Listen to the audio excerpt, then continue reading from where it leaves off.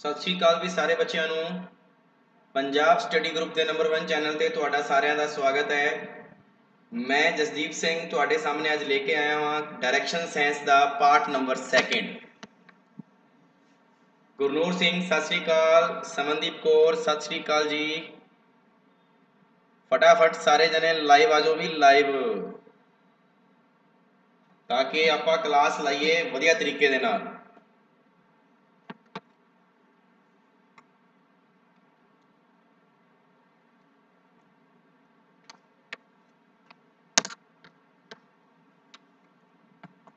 ਚਲੋ ਜੀ।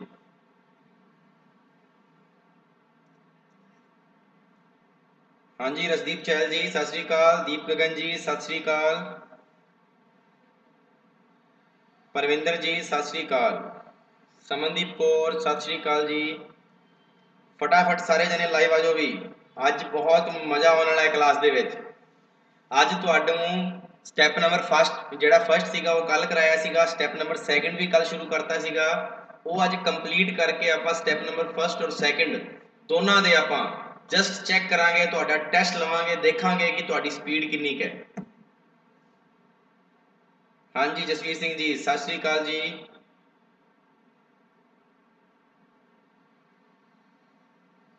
ਫਟਾਫਟ ਆ ਜਾਓ ਵੀ ਸਾਰੇ ਜਣੇ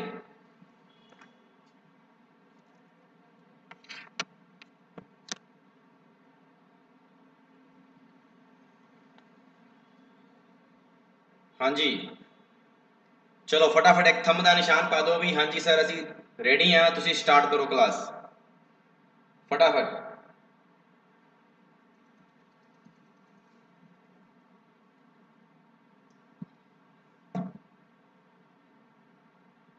ਬਿਲਕੁਲ ਰੈਡੀ ਹਾਂ, ਠੀਕ ਹੈ ਜੀ। ਚਲੋ ਫਿਰ ਸਟਾਰਟ ਕਰਦੇ ਹਾਂ ਆਪਾਂ ਅੱਜ ਦਾ ਸੈਸ਼ਨ ਹਾਂਜੀ ਕੱਲ ਜਿਹੜਾ ਵੀ ਆਪਾਂ ਕੀਤਾ ਉਹ ਇੱਕ ਵਾਰੀ ਥੋੜਾ ਜਿਹਾ ਰਿਪੀਟ ਕਰ ਲੈਨੇ ਆ ਰਿਪੀਟ ਦੇਖਿਓ ਧਿਆਨ ਨਾਲ, ਸਭ ਤੋਂ ਪਹਿਲਾਂ ਤਾਂ ਆਪਾਂ ਸਿੱਖਿਆ ਸੀਗਾ ਬੇਸਿਕ ਕਨਸੈਪਟ ਜਿਹਦੇ ਵਿੱਚ ਭਾਵੇਂ ਛੋਟਾ ਮੋਟਾ ਦਿਖਦੇ ਹੋਵੇ, ਸਿਰਫ ਰਿਪੀਟ ਸਿੱਖ ਰਹੇ ਆਪਾਂ।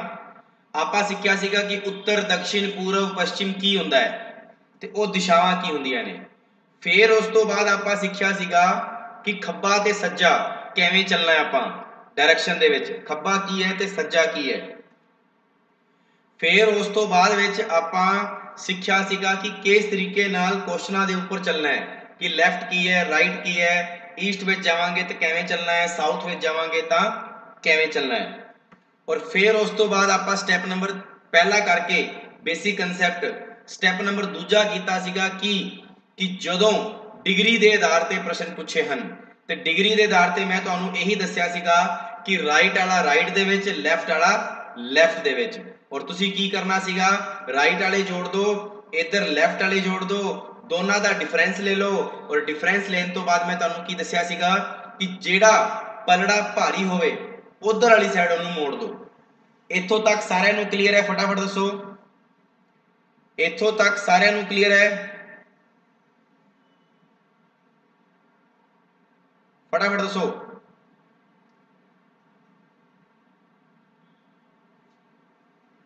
ਬਿਲਕੁਲ ਸਾਰਾ ਨੂੰ ਕਲੀਅਰ ਹੈ, ਠੀਕ ਹੈ ਜੀ। ਅੱਜ ਆਪਾਂ ਚੇਂਜ ਕਰਦੇ ਹਾਂ ਕਨਸੈਪਟ ਸਟੈਪ ਨੰਬਰ ਦੂਜੇ ਦਾ ਥੋੜਾ ਜਿਹਾ ਕਨਸੈਪਟ ਚੇਂਜ ਕੀ ਦਿੰਦਾ ਹੈ ਪੇਪਰ ਦੇ ਵਿੱਚ? ਉਹ ਦੇਖੋ ਧਿਆਨ ਨਾਲ। ਕਨਸੈਪਟ ਚੇਂਜ ਕੀ ਦਿੰਦਾ ਹੈ ਤੁਹਾਨੂੰ? ਐਵੇਂ ਕਹੇਗਾ। ਸੁਣੀ ਚੱਲੋ ਸਾਰੇ ਜਣੇ। ਇੱਕ ਵਿਅਕਤੀ। ਇੱਕ ਆਦਮੀ ਆਇਆ, ਇੱਕ ਪੀਪਲ ਹੈ। ਉਹ ਪਹਿਲਾ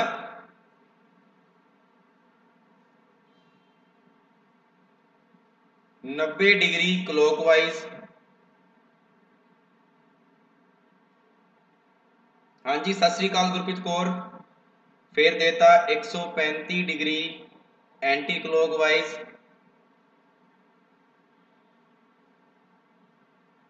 ਫਿਰ ਦੇਤਾ 45 ਡਿਗਰੀ ਖੱਬੇ ਫੇਰ ਦੇਤਾ 180 ਡਿਗਰੀ ਸੱਜੇ। ਔਰ ਫੇਰ ਦੇਤਾ ਅੰਤ ਦੇ ਵਿੱਚ।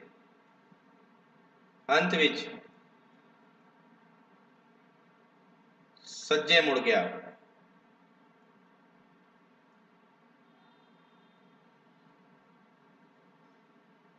ਤਾਂ ਦੱਸੋ, ਉਹ ਹੁਣ ਕਿਹੜੀ ਦਿਸ਼ਾ ਵਿੱਚ ਹੈ?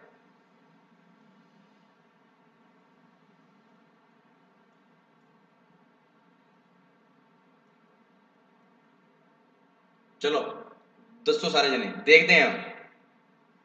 ਹਾਂਜੀ, ਭੁਪਿੰਦਰ ਸਿੰਘ ਜੀ, ਸਤਿ ਸ੍ਰੀ ਅਕਾਲ। ਦੇਖਦੇ ਹਾਂ ਕਿ ਤੁਸੀਂ ਇਸ ਕੁਐਸਚਨ ਦਾ ਉੱਤਰ ਕੀ ਦਿੰਦੇ ਹੋ। ਸਾਰੇ ਜਣੇ ਕਰੋ। ਕੱਲ ਵਾਲਾ ਹੀ ਕਨਸੈਪਟ ਹੈ, ਬਸ ਥੋੜਾ ਜਿਹਾ ਮੈਂ ਚੇਂਜ ਕੀਤਾ ਹੈ। ਉਹ ਦੱਸੂਗਾ ਕੀ ਚੇਂਜ ਕੀਤਾ ਹੈ। ਬਟ ਤੁਸੀਂ ਪਹਿਲਾਂ ਉੱਤਰ ਦਿਓ, ਦੇਖਦੇ ਹਾਂ।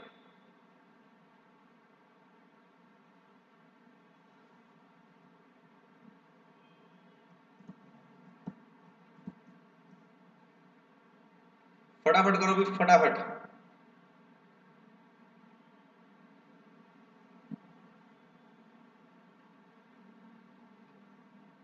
जल्दी करो सारे जने जल्दी 90 परसेंट सज्जा 135 परसेंट एंटी क्लॉकवाइज 40 परसेंट ਖੱਬਾ 180 परसेंट ਸੱਜਾ ਅਤੇ ਲਾਸਟ ਦੇ ਵਿੱਚ ਕੀ ਕੀਤਾ ਇਹਨੇ ਲਾਸਟ ਦੇ ਵਿੱਚ ਕਿੱਧਰ ਨੂੰ ਚਲਾ ਗਿਆ? ਸੱਜੇ ਮੁੜ ਗਿਆ। ਭੁਪਿੰਦਰ ਸਿੰਘ ਜੀ, ਜੇ ਤੁਸੀਂ ਕੱਲ ਕਲਾਸ ਨਹੀਂ ਲਈ, ਤਾਂ ਫਿਰ ਅੱਜ ਦੀ ਕਲਾਸ ਵੀ ਨਾ ਲਓ। ਕਿਉਂਕਿ ਮੈਂ ਤੁਹਾਨੂੰ ਦੱਸਿਆ ਹੋਇਆ ਹੈ ਕਿ ਮੇਰਾ ਸਾਰਾ ਕੁਝ ਹੀ ਪਹਿਲੀ ਕਲਾਸ ਦੇ ਵਿੱਚ ਆਉਂਦਾ ਹੈ। ਉਸ ਤੋਂ ਬਾਅਦ ਵਿੱਚ ਤਾਂ ਸਿਰਫ ਗੱਲਾਂ ਰਹਿ ਜਾਂਦੀਆਂ, ਸਿਰਫ ਕੁਐਸਚਨਾਂ ਦੀਆਂ। ਸੋ ਇਸ ਕਰਕੇ ਕੱਲ ਵਾਲੀ ਕਲਾਸ ਲਾ ਕੇ ਫਿਰ ਆ ਵਾਲੀ ਕਲਾਸ ਲਾਓ, ਠੀਕ ਹੈ ਨਾ?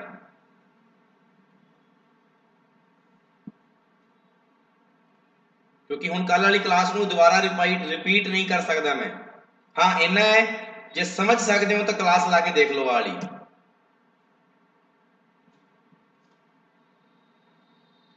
ਫਟਾਫਟ ਉੱਤਰ ਦਿਓ ਵੀ ਸਾਰੇ ਜਣੇ, ਕੀ ਉੱਤਰ ਆਏਗਾ?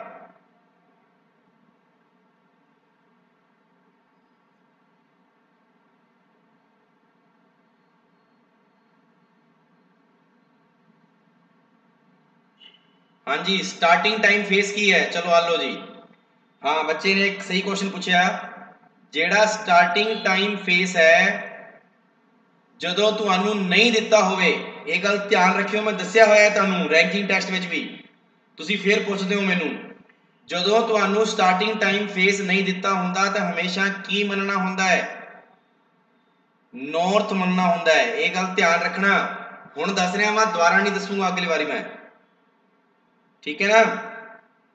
ਗੁਰਮੇਲ ਸੰਧੂ ਰੈਂਕਿੰਗ ਟੈਸਟ ਵਿੱਚ ਵੀ ਦੱਸਿਆ ਸੀਗਾ ਮੈਂ ਕਿ ਜਦੋਂ ਤੁਹਾਨੂੰ ਕੋਈ ਵੀ ਫੇਸ ਨਾ ਦਿੱਤਾ ਹੋਵੇ ਕਿ ਉਹਦਾ ਫੇਸ ਕਿੱਧਰ ਹੈ, ਤਾਂ ਤੁਸੀਂ ਹਮੇਸ਼ਾ ਕੀ ਮੰਨਣਾ ਹੈ? ਕਿ ਉਹ ਨਾਰਥ ਵੱਲ ਦੇਖ ਰਿਹਾ ਹੈ। ਇੱਥੇ ਵੀ ਮੈਂ ਤੁਹਾਨੂੰ ਕੁਝ ਨਹੀਂ ਦੱਸਿਆ। ਇਸ ਕਰਕੇ ਤੁਸੀਂ ਮੰਨ ਲਓ ਕਿ ਨਾਰਥ ਵੱਲ ਦੇਖ ਰਿਹਾ ਹੈ।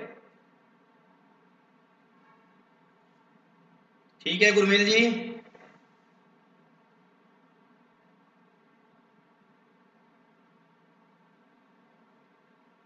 ਚਲੋ ਜੀ, ਦੇਖੋ ਸਾਰੇ ਜਣੇ, ਇਸ ਕੁਐਸਚਨ ਨੂੰ ਕਿਵੇਂ ਕਰਨਾ ਹੁੰਦਾ ਹੈ?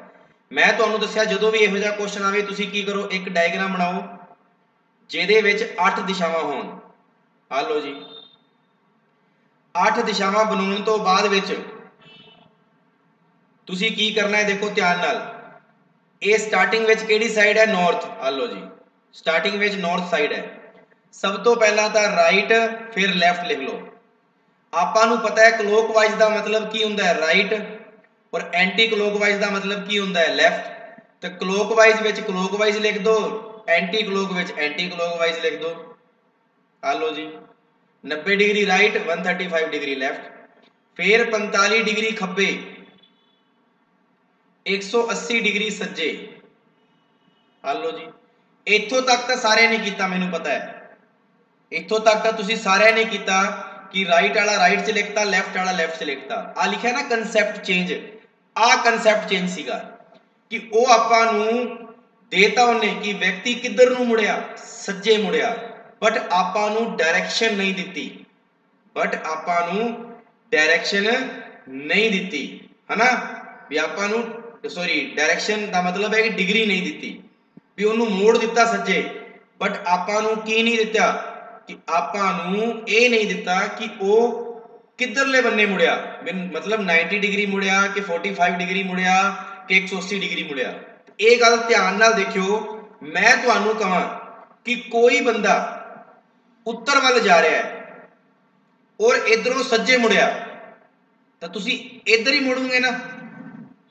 ਦੱਸੋ ਸਾਰੇ ਜਣੇ ਯੈਸ ਔਰ ਨੋ ਜਦੋਂ ਮੈਂ ਤੁਹਾਨੂੰ ਕਹਾਂ ਕਿ ਕੋਈ ਬੰਦਾ ਪੂਰਬ ਵੱਲ ਗਿਆ ਸੌਰੀ ਕੋਈ ਬੰਦਾ ਕੋਈ ਬੰਦਾ ਉੱਤਰ ਵੱਲ ਗਿਆ ਔਰ ਉਸ ਤੋਂ ਬਾਅਦ ਮੈਂ ਉਹਨੂੰ ਸੱਜੇ ਮੋੜਨਾ ਚਾਹੁੰਦਾ ਹੈ, ਤੇ ਮੈਂ ਸੱਜੇ ਮੋੜੂੰਗਾ ਤਾਂ ਮੈਂ ਐਵੇਂ ਮੋੜੂੰਗਾ ਨਾ, ਇਸੇ ਤਰੀਕੇ ਨਾਲ ਹੀ ਮੋੜੂੰਗਾ। ਬਿਲਕੁਲ, ਯਾਨੀ ਕਹਿਣ ਦਾ ਭਾਵ ਇਹ ਹੈ ਕਿ ਜਦੋਂ ਤੁਹਾਨੂੰ ਡਿਗਰੀ ਨਹੀਂ ਦਿੱਤੀ ਹੁੰਦੀ, ਤਾਂ ਤੁਸੀਂ ਆਪਣੇ ਆਪ ਹੀ ਇਹ ਸੋਚ ਲੈਂਦੇ ਹੋ ਨਾ ਕਿ 90 ਡਿਗਰੀ ਮੁੜਨਾ ਹੈ। ਕਿੰਨੇ ਡਿਗਰੀ ਮੁੜਨਾ ਹੈ? 90 ਡਿਗਰੀ। ਤੇ ਯਾਦ ਰੱਖਣਾ ਕਿ ਡਿਗਰੀ ਵਾਲੇ ਪ੍ਰਸ਼ਨ ਦੇ ਵਿੱਚ ਜਦੋਂ ਡਿਗਰੀ ਨਾ ਦਿੱਤੀ ਹੋਵੇ ਔਰ ਬੰਦੇ ਨੂੰ ਸੱਜੇ ਜਾਂ ਖੱਬੇ ਮੋੜ ਦਿੱਤਾ ਜਾਵੇ, ਤਾਂ ਉੱਥੇ ਹਮੇਸ਼ਾ ਡਿਗਰੀ ਕੀ ਮੰਨੂਗੇ? 90 ਡਿਗਰੀ ਮੰਨੂਗੇ। ਸੱਜੇ ਮੋੜਤਾ ਤਾਂ ਵੀ 90 ਡਿਗਰੀ, ਖੱਬੇ ਮੋੜਤਾ ਤਾਂ ਵੀ 90 ਡਿਗਰੀ। ਔਰ ਜੇ ਡਿਗਰੀ ਦੇ ਰੱਖੀ ਹੈ, ਫਿਰ ਉਹੀ ਰੱਖੋ। ਤਾਂ ਬਸ ਫਿਰ ਗੱਲ ਖਤਮ। ਜੋੜ ਦੋ ਹੁਣ। 180 ਦੇ 180 360 ਇਹ ਹੋ ਗਿਆ 13 ਤੇ 4 17 ਇਹਦੇ ਵਿੱਚ ਕਿੰਨੇ ਦਾ ਅੰਤਰ ਹੈ, ਦੇਖ ਲਓ ਹੁਣ।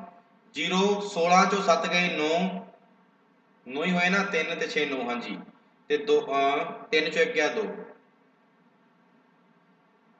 290 ਡਿਗਰੀ, ਆਪਾਂ ਨੂੰ ਕੀ ਕਰਨਾ ਹੈ? ਉਹਨੂੰ ਮੋੜਨਾ ਹੈ। ਕਿੱਧਰ ਮੋੜਨਾ ਹੈ? ਸੱਜੇ ਪਾਸੇ ਮੋੜਨਾ ਹੈ। ਕਿਉਂਕਿ ਪਲੜਾ ਭਾਰੀ ਕਿਹਦਾ ਹੈ? ਰਾਈਟ ਸਾਈਡ ਦਾ ਪਲੜਾ ਭਾਰੀ ਹੈ। ਤਾਂ ਤੁਸੀਂ 290 ਡਿਗਰੀ ਰਾਈਟ ਲੈ ਜਾਓ ਇਹਨੂੰ। ਹੁਣ 290 ਡਿਗਰੀ ਰਾਈਟ ਦਾ ਮਤਲਬ ਹੈ ਇੱਧਰ ਨੂੰ ਦੇਖੋ, ਧਿਆਨ ਨਾਲ। ਆ ਕਿੰਨਾ ਆਇਆ? 90 ਡਿਗਰੀ ਮੋੜਾਂਗੇ ਤਾਂ ਰਾਈਟ ਸਾਈਡ 'ਚ ਪਤਾ ਹੈ ਨਾ ਰਾਈਟ ਸਾਈਡ 'ਚ ਵੱਡੀ ਉਂਗਲੀ ਰਾਈਟ ਛੋਟੀ ਉਂਗਲੀ ਲੈਫਟ ਤਾਂ ਆਪਾਂ ਨੂੰ ਪਤਾ ਲੱਗ ਗਿਆ ਜੀ 90 ਡਿਗਰੀ ਤੇ ਇੱਧਰ ਮੁੜ ਗਿਆ ਫੇਰ 90 ਡਿਗਰੀ ਹੋਰ ਮੁੜੇਗਾ ਤੇ 180 ਸਹੀ ਹੈ 180 ਤੇ 90 ਕਿੰਨੇ ਹੁੰਦੇ ਨੇ 270 ਦੁਬਾਰਾ ਫਿਰ ਦੇਖ ਲਓ 290 ਆ ਰਿਹਾ ਨਾ ਇੱਕ ਵਾਰ ਹੋਰ ਦੇਖ ਲਓ 180 ਤੇ 180 360 5 5 10 ਉਹ ਸੌਰੀ 180 ਆਇਆ ਨਾ ਸੌਰੀ ਸੌਰੀ ਮਾਈਨਸ ਦੀ ਗਲਤੀ ਹੋ ਗਈ ਬਈ ਵੇਟ ਵੇਟ ਵੇਟ ਤੇ ਆਪਣੇ ਕੋਲੇ ਆਇਆ ਜੀ 0 16 ਚੋਂ 8 ਗਏ 8 ਔਰ 3 ਚੋਂ 1 ਹੈ 200 ਕਿੰਨਾ ਆ ਗਿਆ 80 ਆ ਗਿਆ ਠੀਕ ਹੈ ਜੀ 280 ਆ ਗਿਆ ਹਾਂਜੀ 280 ਆ ਗਿਆ ਹੁਣ ਦੇਖੋ ਇੱਧਰ ਕਿੰਨਾ ਆਏਗਾ 280 ਆ ਰਿਹਾ ਨਾ ਇੱਕ ਵਾਰੀ ਮਾਈਨਸ ਕਰਕੇ ਦੇਖੋ ਇੱਕ ਵਾਰੀ ਕਿਤੇ ਮੇਰੇ ਤੋਂ ਗਲਤੀ ਤਾਂ ਨਹੀਂ ਵਾਪਸ ਜੋੜ ਲਓ ਰੁਕੋ ਇੱਕ ਵਾਰੀ ਉਹ ਮੈਂ ਮੇਰੇ ਚੱਕਰ ਚ ਕਰਾਤਾ wait wait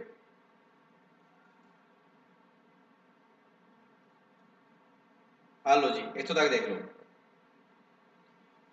90 clockwise anti clockwise 135 ਫਿਰ ਆਪਾਂ ਨੂੰ 180 ਦੇਤਾ ਫਿਰ 45 ਦੇਤਾ ਔਰ ਫਿਰ ਆਪਾਂ 90 ਮੋੜਦਾ ਰਾਈਟ ਸਾਈਡ ਜੋੜ ਲਓ 0 9 9 18 ਤੇ 8 16 26 360 ਔਰ ਇਧਰ ਕਿੰਨਾ ਆ ਗਿਆ 5 5 10 ਤੇ 1 4 3 7 ਔਰ 1 8 180 ਆ ਗਿਆ ਇਧਰ ਕਿੰਨੇ ਦਾ ਅੰਤਰ ਆ ਗਿਆ 180 ਦਾ ਅੰਤਰ ਆ ਗਿਆ ਕਿੰਨੇ ਦਾ ਅੰਤਰ ਆ ਗਿਆ 180 ਦਾ ਅੰਤਰ ਆ ਗਿਆ ਯਾਨੀ ਕਹਿਣ ਦਾ ਮਤਲਬ ਇਹ ਹੋ ਗਿਆ ਕਿ ਆਪਣੇ ਕੋਲੇ 180 ਦਾ ਅੰਤਰ ਆਇਆ ਕਿੰਨੇ ਦਾ ਅੰਤਰ ਆਇਆ 180 ਦਾ ਯਾਨੀ ਕਹਿਣ ਦਾ ਭਾਵ ਹੈ ਕਿ ਇਹ ਬੰਦਾ ਇੱਥੇ ਬੈਠਾ ਹੈ ਔਰ 180 ਡਿਗਰੀ ਸੱਜੇ ਬੰਨੇ ਮੋੜ ਦੂੰਗੇ ਤਾਂ ਇੱਥੇ ਹੀ ਆਏਗਾ ਨਾ ਇੱਥੇ ਆਏਗਾ ਤੇ ਇਸ ਬੰਦੇ ਦਾ ਥਾਂ ਕਿੱਧਰ ਨੂੰ ਮੂੰਹ ਹੈ? ਇਸ ਬੰਦੇ ਦਾ ਮੂੰਹ ਹੈ ਜੀ ਸਾਊਥ ਵੱਲ। ਕਿਸ ਵੱਲ ਹੈ? ਸਾਊਥ ਵੱਲ, ਜੋ ਕਿ ਕਿਸੇ ਦਾ ਆਨਸਰ ਨਹੀਂ ਆਇਆ। ਜੋ ਕਿ ਕਿਸੇ ਦਾ ਆਨਸਰ ਨਹੀਂ ਆਇਆ। ਉਹ ਥੋੜੀ ਜਿਹੀ ਇੱਥੇ ਮਿਸਪ੍ਰਿੰਟਿੰਗ ਮੇਰੇ ਕੋਲ ਹੋ ਗਈ ਸੀ ਕਿਉਂਕਿ ਮੈਂ ਪਲੱਸ ਥੋੜੀ ਗਲਤੀ ਕਰਤੀ। Sorry 올 of you man has mistake of image ਇਨਸਾਨ ਗਲਤੀਆਂ ਦਾ ਪੁਤਲਾ ਹੈ। ਹਾਂਜੀ, ਦੱਸੋ ਵੀ ਸਾਰੇ ਜਣੇ। ਇਹ ਕਨਸੈਪਟ ਸਮਝ ਆਇਆ ਕਿ ਨਹੀਂ ਆਇਆ ਸਾਰਿਆਂ ਨੂੰ? ਇਹ ਕਨਸੈਪਟ ਸਮਝ ਆਇਆ ਜਾਂ ਨਹੀਂ ਆਇਆ? ਫਟਾਫਟ।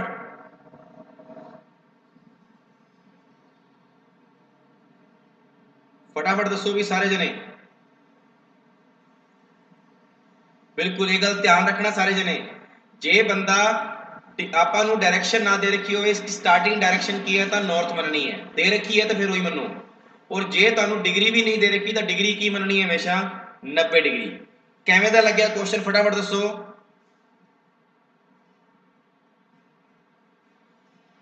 ਗੁਰਮੇਲ ਸੰਧੂ ਜੀ ਕੱਲ ਕਲਾਸ ਲਾਈ ਸੀਗੀ? ਗੁਰਮੇਲ ਸੰਧੂ ਜੀ ਕੱਲ ਕਲਾਸ ਲਾਈ ਸੀ?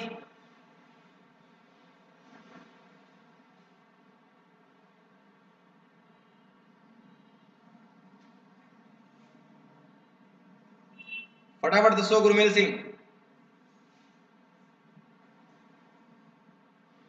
ਨਹੀਂ ਲਾਈ ਸੀ ਬਸ ਇਹੀ ਰੀਜ਼ਨ ਹੈ ਕਿ ਤੁਹਾਨੂੰ ਪਤਾ ਨਹੀਂ ਕਿ ਮੈਂ ਰਾਈਟ ਕਿਉਂ ਮੋੜਿਆ ਦੇਖੋ ਧਿਆਨ ਨਾਲ ਇਹਨਾਂ ਵਿੱਚੋਂ ਇਹਦਾ ਜਦੋਂ ਅੰਤਰ ਲਵਾਂਗੇ 180 ਆ ਗਿਆ ਹੁਣ ਤੁਸੀਂ ਇਹ ਦੇਖਣਾ ਹੈ ਕਿ ਇਹਨਾਂ ਦੋਨਾਂ ਦਾ ਜਿਹੜਾ ਜੋੜ ਸੀਗਾ 100 360 ਆਇਆ ਇੱਧਰ ਇੱਧਰ 180 ਆਇਆ ਇਹਨਾਂ ਵਿੱਚੋਂ ਪਲੜਾ ਭਾਰੀ ਕਿਹਦਾ ਹੈ ਰਾਈਟ ਸਾਈਡ ਦਾ ਪਲੜਾ ਭਾਰੀ ਹੈ ਨਾ ਤੁਹਾਨੂੰ ਰਾਈਟ ਸਾਈਡ ਮੋੜ ਦਿਓ ਔਰ ਜੇ ਲੈਫਟ ਸਾਈਡ ਦਾ ਪਲੜਾ ਭਾਰੀ ਹੈ ਤਾਂ ਲੈਫਟ ਸਾਈਡ ਮੋੜ ਦਿਓ ਆ ਗਿਆ ਸਮਝ ਵਿੱਚ?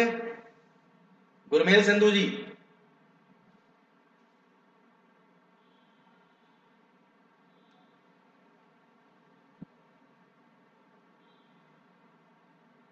ਗੁਰਮੇਲ ਜੀ, ਆ ਗਿਆ ਸਮਝ ਵਿੱਚ? ਫਟਾਫਟ ਦੱਸੋ। ਓਕੇ ਜੀ। ਤਾਂ ਆਪਾਂ ਚੱਲਦੇ ਹਾਂ ਸਟੈਪ ਨੰਬਰ ਦੂਜੇ ਦਾ। ਪਾਰਟ ਨੰਬਰ ਬੀ ਰੂਲ ਕਿ ਬੀ ਰੂਲ ਕੀ ਹੈ? ਇਹਦਾ ਜਿਹੜਾ ਬੀ ਰੂਲ ਹੈ ਗਾਇਜ਼ ਉਹ ਹੈ ਡਾਇਰੈਕਸ਼ਨ ਚੇਂਜਡ ਇਹ ਡਾਇਰੈਕਸ਼ਨ ਚੇਂਜ ਦਾ ਮਤਲਬ ਕੀ ਹੁੰਦਾ ਹੈ? ਸਾਰੇ ਜਣੇ ਦੇਖਿਓ। ਡਾਇਰੈਕਸ਼ਨ ਚੇਂਜ ਦਾ ਮਤਲਬ ਇਹ ਹੁੰਦਾ ਹੈ ਕਿ ਜਿਵੇਂ ਮੈਂ ਤੁਹਾਨੂੰ ਕਹਤਾ ਕਿ ਆ ਚਾਰ ਡਾਇਰੈਕਸ਼ਨਾਂ ਨੇ। ਕਿੰਨੀਆਂ ਡਾਇਰੈਕਸ਼ਨਾਂ ਨੇ? ਚਾਰ। ਚਾਰ ਡਾਇਰੈਕਸ਼ਨਾਂ ਨੇ ਔਰ ਇਹ ਚਾਰ ਆ ਰਹੀਆਂ। ਮੈਂ ਕਹਾਂ ਕਿ ਮੈਂ ਨਾ ਇੱਥੇ ਬੈਠਾ। ਇਸ ਡਾਇਰੈਕਸ਼ਨ 'ਚ ਬੈਠਾ ਮੈਂ। ਔਰ ਮੈਂ ਤੁਹਾਨੂੰ ਕਹਦਾ ਜੇਕਰ ਮੈਂ ਇਸ ਡਾਇਰੈਕਸ਼ਨ ਨੂੰ ਪੂਰਬ ਆਖਾਂ, ਕੀ ਆਖਾਂ? ਪੂਰਬ ਆਖਾਂ।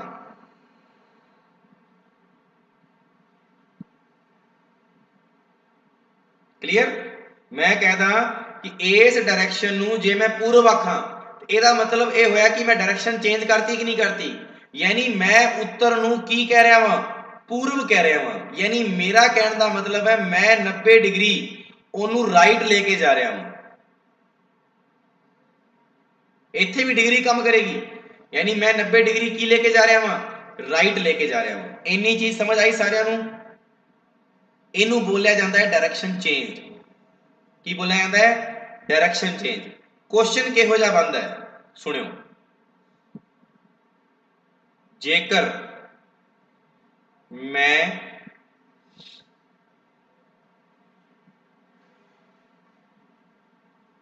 ਦੱਖਣ ਨੂੰ ਪੂਰਬ ਆਖਾਂ ਜੇ ਮੈਂ ਦੱਖਣ ਨੂੰ ਕੀ ਆਖਾਂ? ਪੂਰਬ ਆਖਾਂ। ਉੱਤਰ ਨੂੰ ਪੱਛਮ ਆਖਾਂ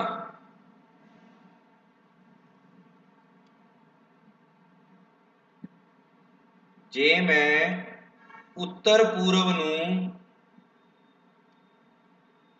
ਉੱਤਰ ਪੱਛਮ ਆਖਾਂ ਤਾਂ ਦੱਸੋ ਕਿ ਮੈਂ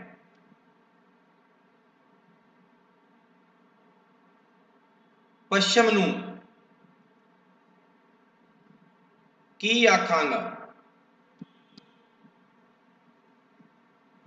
ਕਿ ਮੈਂ ਪੱਛਮ ਨੂੰ ਕੀ ਆਖਾਂਗਾ? ਇਹ ਕੁਐਸਚਨ ਆਪਣੇ ਕੋਲੋਂ ਪੇਪਰ ਦੇ ਵਿੱਚ ਪੁੱਛਦਾ ਹੈ। ਇਹੋ ਜਿਹਾ ਕੁਐਸਚਨ ਕਿ ਜੇਕਰ ਮੈਂ ਦੱਖਣ ਨੂੰ ਤਾਂ ਪੂਰਬ ਆਖਾਂ ਕਲੀਅਰ ਦੱਖਣ ਨੂੰ ਕੀ ਆਖਾਂ, ਪੂਰਬ? ਔਰ ਉੱਤਰ ਨੂੰ ਫਿਰ ਮੈਂ ਕਹਦਾ ਕਿ ਪੱਛਮ।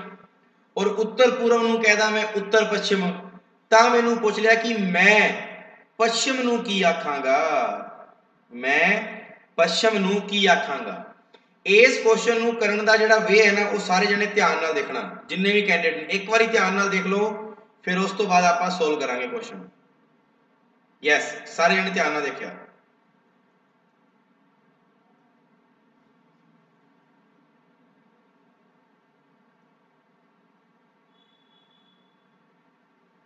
ਹਾਂਜੀ ਸਾਰੇ ਜਣੇ ਧਿਆਨ ਨਾਲ ਦੇਖਣਾ ਜਿੰਨੇ ਵੀ ਕੈਂਡੀਡੇਟ ਬੈਠੇ ਨੇ ਕਲਾਸ ਦੇ ਵਿੱਚ। ਇਹਨੇ ਸਭ ਤੋਂ ਪਹਿਲਾਂ ਕੀ ਆਖਿਆ? ਦੇਖੋ, ਆਪਾਂ ਨੂੰ ਪਤਾ ਹੈ, ਇਹਨੂੰ ਨਾਰਥ ਕਿਹਾ ਜਾਂਦਾ ਹੈ, ਇਹਨੂੰ ਈਸਟ ਕਿਹਾ ਜਾਂਦਾ ਹੈ, ਇਹਨੂੰ ਵੈਸਟ ਕਿਹਾ ਜਾਂਦਾ ਹੈ ਤੇ ਇਹਨੂੰ ਸਾਊਥ ਕਿਹਾ ਜਾਂਦਾ ਹੈ। ਇਹ ਸਾਰਿਆਂ ਨੂੰ ਪਤਾ ਹੈ। ਮੈਂ ਦੱਖਣ ਨੂੰ ਆ ਦੱਖਣ ਹੈ ਜੀ। ਇਸ ਦੱਖਣ ਨੂੰ ਮੈਂ ਕੀ ਆਖਿਆ? ਪੂਰਬ। ਆ ਪੂਰਬ ਹੈ। ਯਾਨੀ ਦੇਖੋ, ਇਧਰੋਂ ਮੈਂ ਐ ਲੈ ਕੇ ਜਾਵਾਂਗਾ ਤਾਂ ਬਹੁਤ ਦੂਰ ਜਾਣਾ ਪਏਗਾ। ਬਟ ਇੱਧਰ ਦੇਖੋ ਨੇੜੇ ਹੈ ਨਾ। ਬਸ ਇੱਕ ਵਾਰੀ ਜਿੱਧਰ ਨੂੰ ਤੁਸੀਂ ਘੁਮਾਤਾ ਬੰਦੇ ਨੂੰ, ਇਸ ਕੁਐਸਚਨ ਦੇ ਵਿੱਚ ਹਰ ਵਾਰੀ ਤੁਸੀਂ ਉਧਰ ਹੀ ਘਮਾਉਂਗੇ। ਹੁਣ ਤੁਸੀਂ ਆਪ ਸੋਚੋ ਕਿ ਉਹਨੇ ਦੱਖਣ ਨੂੰ ਕੀ ਆਖਿਆ ਹੈ? ਪੂਰਬ। ਉਹਨੇ ਦੱਖਣ ਨੂੰ ਕੀ ਆਖਿਆ ਹੈ? ਪੂਰਬ। ਯਾਨੀ ਕਹਿਣ ਦਾ ਭਾਵ ਹੈ ਕਿ ਇਹਨੇ ਖੱਬੇ ਪਾਸੇ, ਇਹਨੇ ਖੱਬੇ ਪਾਸੇ ਕਿੰਨੇ ਡਿਗਰੀ ਮੋੜਤਾ? ਉਸ ਬੰਦੇ ਨੂੰ 90 ਡਿਗਰੀ ਮੋੜਤਾ। ਇਹ ਆਪਾਂ ਨੂੰ ਮੰਨ ਕੇ ਚੱਲਣਾ ਹੁਣ। ਵੀ ਪਹਿਲੀ ਵਾਰੀ ਤੁਸੀਂ ਜਿੱਧਰ ਵਿਅਕਤੀ ਨੂੰ ਮੋੜ ਰਹੇ ਹੋ, ਹੁਣ ਅਗਲੀ ਵਾਰੀ ਵੀ ਤੁਸੀਂ ਉਧਰ ਹੀ ਮੋੜੋਗੇ, ਯਾਨੀ ਕਹਿਣ ਦਾ ਭਾਵ ਹੈ ਖੱਬੇ ਬੰਨੇ ਮੋੜੋਗੇ ਹੁਣ ਹੁਣ ਤੁਸੀਂ ਸੱਜੇ ਬੰਨੇ ਨਹੀਂ ਮੋੜ ਸਕਦੇ। ਕਿਉਂ? ਕਿਉਂਕਿ ਪਹਿਲੀ ਵਾਰ ਜਿੱਧਰ ਮੋੜਤਾ, ਹੁਣ ਅਗਲੀ ਵਾਰ ਵੀ ਉਧਰ ਹੀ ਮੋੜਨਾ ਹੈ, ਫਿਰ ਕੁਐਸਚਨ ਗਲਤ ਹੋ ਜਾਏਗਾ ਅਦਰਵਾਈਜ਼ ਚਲੋ ਜੀ। ਇਹ ਕਹਿੰਦਾ ਉੱਤਰ ਨੂੰ ਪੱਛਮ ਆਖਿਆ ਜਾਵੇ। ਆ ਰਿਹਾ ਉੱਤਰ। ਇਹਨੂੰ ਪੱਛਮ ਆਖਿਆ ਗਿਆ। ਆ ਦੇਖੋ। ਉੱਤਰ ਨੂੰ ਪੱਛਮ ਆਖਿਆ, ਯਾਨੀ ਇੱਧਰ ਵੀ। 90 ਡਿਗਰੀ ਇਹਨੇ ਕੀ ਬੋਲਿਆ ਖੱਬੇ ਬੰਨੇ। ਯੈਸ অর ਨੋ ਦੱਸੋ ਬਈ। ਖੱਬੇ। ਖੱਬੇ ਚੱਲ ਰਿਹਾ ਨਾ। ਫੇਰ ਉਹਨੇ ਕੀ ਕਿਹਾ ਕਿ ਉੱਤਰ ਪੱਛਮ ਨੂੰ ਉੱਤਰ ਪੂਰਬ ਨੂੰ ਉੱਤਰ ਪੱਛਮ। ਆ ਰਿਹਾ ਉੱਤਰ ਪੂਰਬ ਤੇ ਆ ਰਿਹਾ ਉੱਤਰ ਪੱਛਮ। ਇਹਨੂੰ ਵੀ ਦੇਖੋ। 90 ਡਿਗਰੀ ਲੈਫਟ ਸਾਈਡ ਹੀ ਲੈ ਕੇ ਗਿਆ। ਆ ਲੋ ਜੀ। ਆ ਸਾਰਾ ਮੂੰਹ ਨਹੀਂ ਕਰ ਸਕਦੇ ਮੈਂ ਲਿਖ ਰਿਹਾ ਹਾਂ ਸਿਰਫ ਤੁਹਾਨੂੰ ਦੱਸਣ ਵਾਸਤੇ। ਹੁਣ ਆਪਾਂ ਨੂੰ ਪਤਾ ਲੱਗ ਗਿਆ ਕਿ 90 ਡਿਗਰੀ ਹਰ ਵਾਰੀ ਘੁਮਾ ਰਿਹਾ ਹੈ ਉਹ। ਇੱਥੇ ਵੀ 90 ਡਿਗਰੀ ਘੁਮਾ ਰਿਹਾ ਹੈ, ਇੱਥੇ ਵੀ 90 ਡਿਗਰੀ ਘੁਮਾ ਰਿਹਾ ਹੈ ਤੇ ਇੱਥੇ ਵੀ ਘੁਮਾਵਾਂਗੇ ਕੀ? 90 ਡਿਗਰੀ। ਚਲੋ ਜੀ, ਹੋ ਜਾਓ ਸ਼ੁਰੂ ਤੇ ਪੱਛਮ। ਹਾਲੋ ਜੀ। ਪੱਛਮ ਆ ਰਿਹਾ।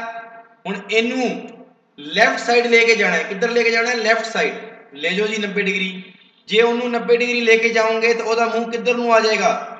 ਉਹਦਾ ਮੂੰਹ ਦੱਖਣ ਵੱਲ ਨੂੰ ਆ ਜਾਏਗਾ। ਕਿੱਧਰ ਨੂੰ ਆ ਜਾਏਗਾ? ਦੱਖਣ ਵੱਲ ਨੂੰ। ਯਾਨੀ ਮੇਰਾ ਜਿਹੜਾ ਆਨਸਰ ਹੈ ਉਹ ਕੀ ਆਏਗਾ? ਦੱਖਣ ਆ ਜਾਏਗਾ। ਮੇਰਾ ਜਿਹੜਾ ਆਨਸਰ ਹੈ ਉਹ ਕੀ ਆ ਜਾਏਗਾ? ਸਾਊਥ ਆ ਜਾਏਗਾ। ਕੀ ਆ ਜਾਏਗਾ? ਸਾਊਥ ਦੱਸੋ ਵੀ। ਸਟੈਪ ਨੰਬਰ 2 ਸਮਝ ਆਇਆ ਕਿ ਨਹੀਂ ਆਇਆ?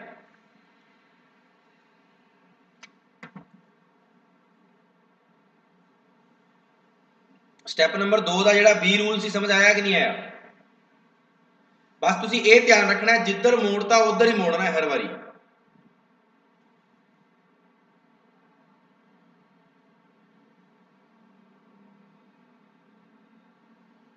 ਬਹੁਤ ਵਧੀਆ ਵੀ ਠੀਕ ਹੈ ਜੀ। ਆਹ ਕਨਸੈਪਟ ਜੇ ਤੁਹਾਨੂੰ ਸਮਝ ਆ ਗਿਆ, ਤਾਂ ਚੱਲੋ ਫਿਰ। ਆ ਲਓ ਜੀ, ਤੁਹਾਡੇ ਸਾਹਮਣੇ ਕੁਐਸਚਨ ਹੈ। ਕਰੋ ਫਟਾਫਟ।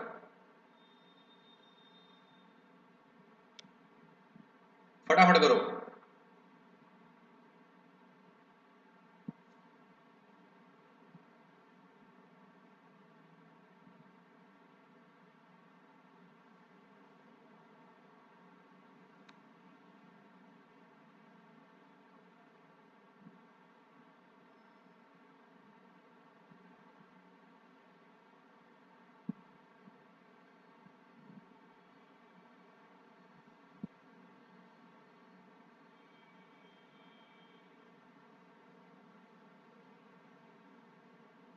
ਦੱਸੋ ਬਈ ਚਲੋ ਜੀ।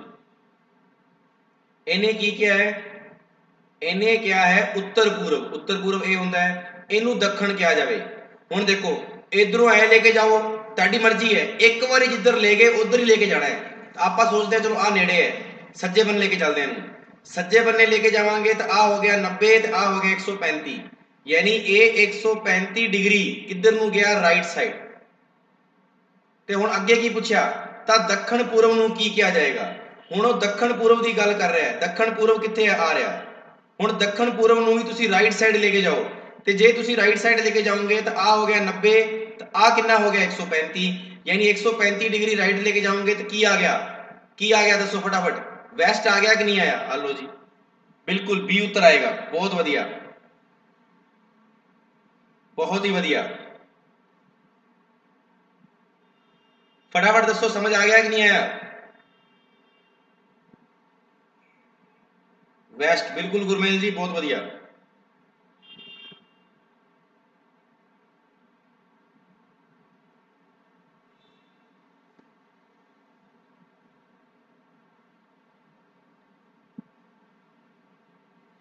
हाँ जी, बहुत ही बढ़िया भी, बहुत ही बढ़िया।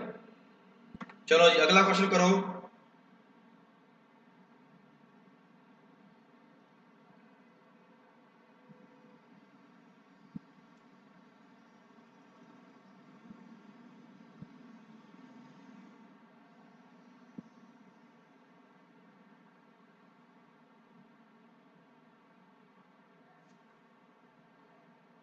ਦਾ ਮਤਲਬ ਸਮਝ ਗਏ ਨਾ? ਪਸ਼ਮ।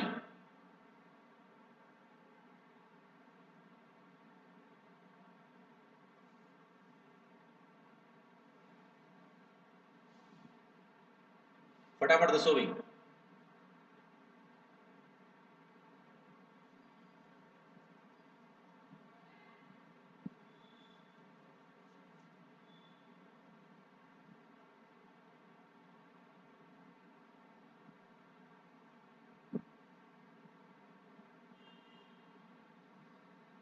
ਬੀ ਉੱਤਰ ਆਇਆ, ਇਹਦਾ ਵੀ ਚਲੋ ਦੇਖਦੇ ਆ ਬੀ ਆਇਆ ਕੁਝ ਹੋਰ ਆਇਆ।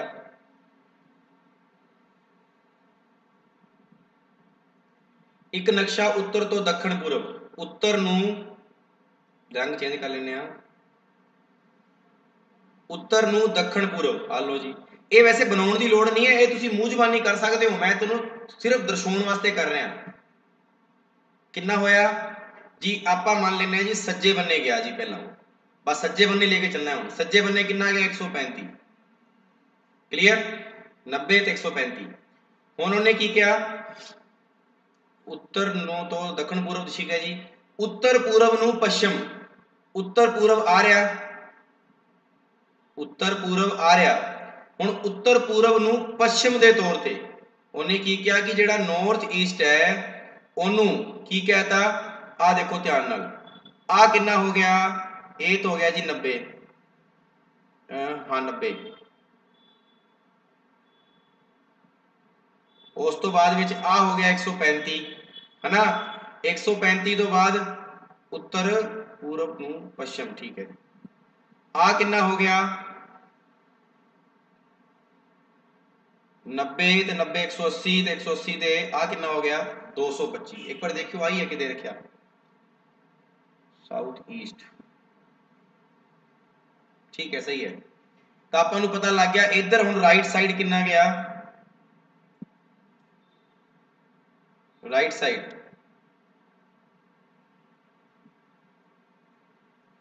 ਇੱਧਰ 135 ਤੇ ਇੱਧਰ ਕਿੰਨਾ ਹੋ ਗਿਆ?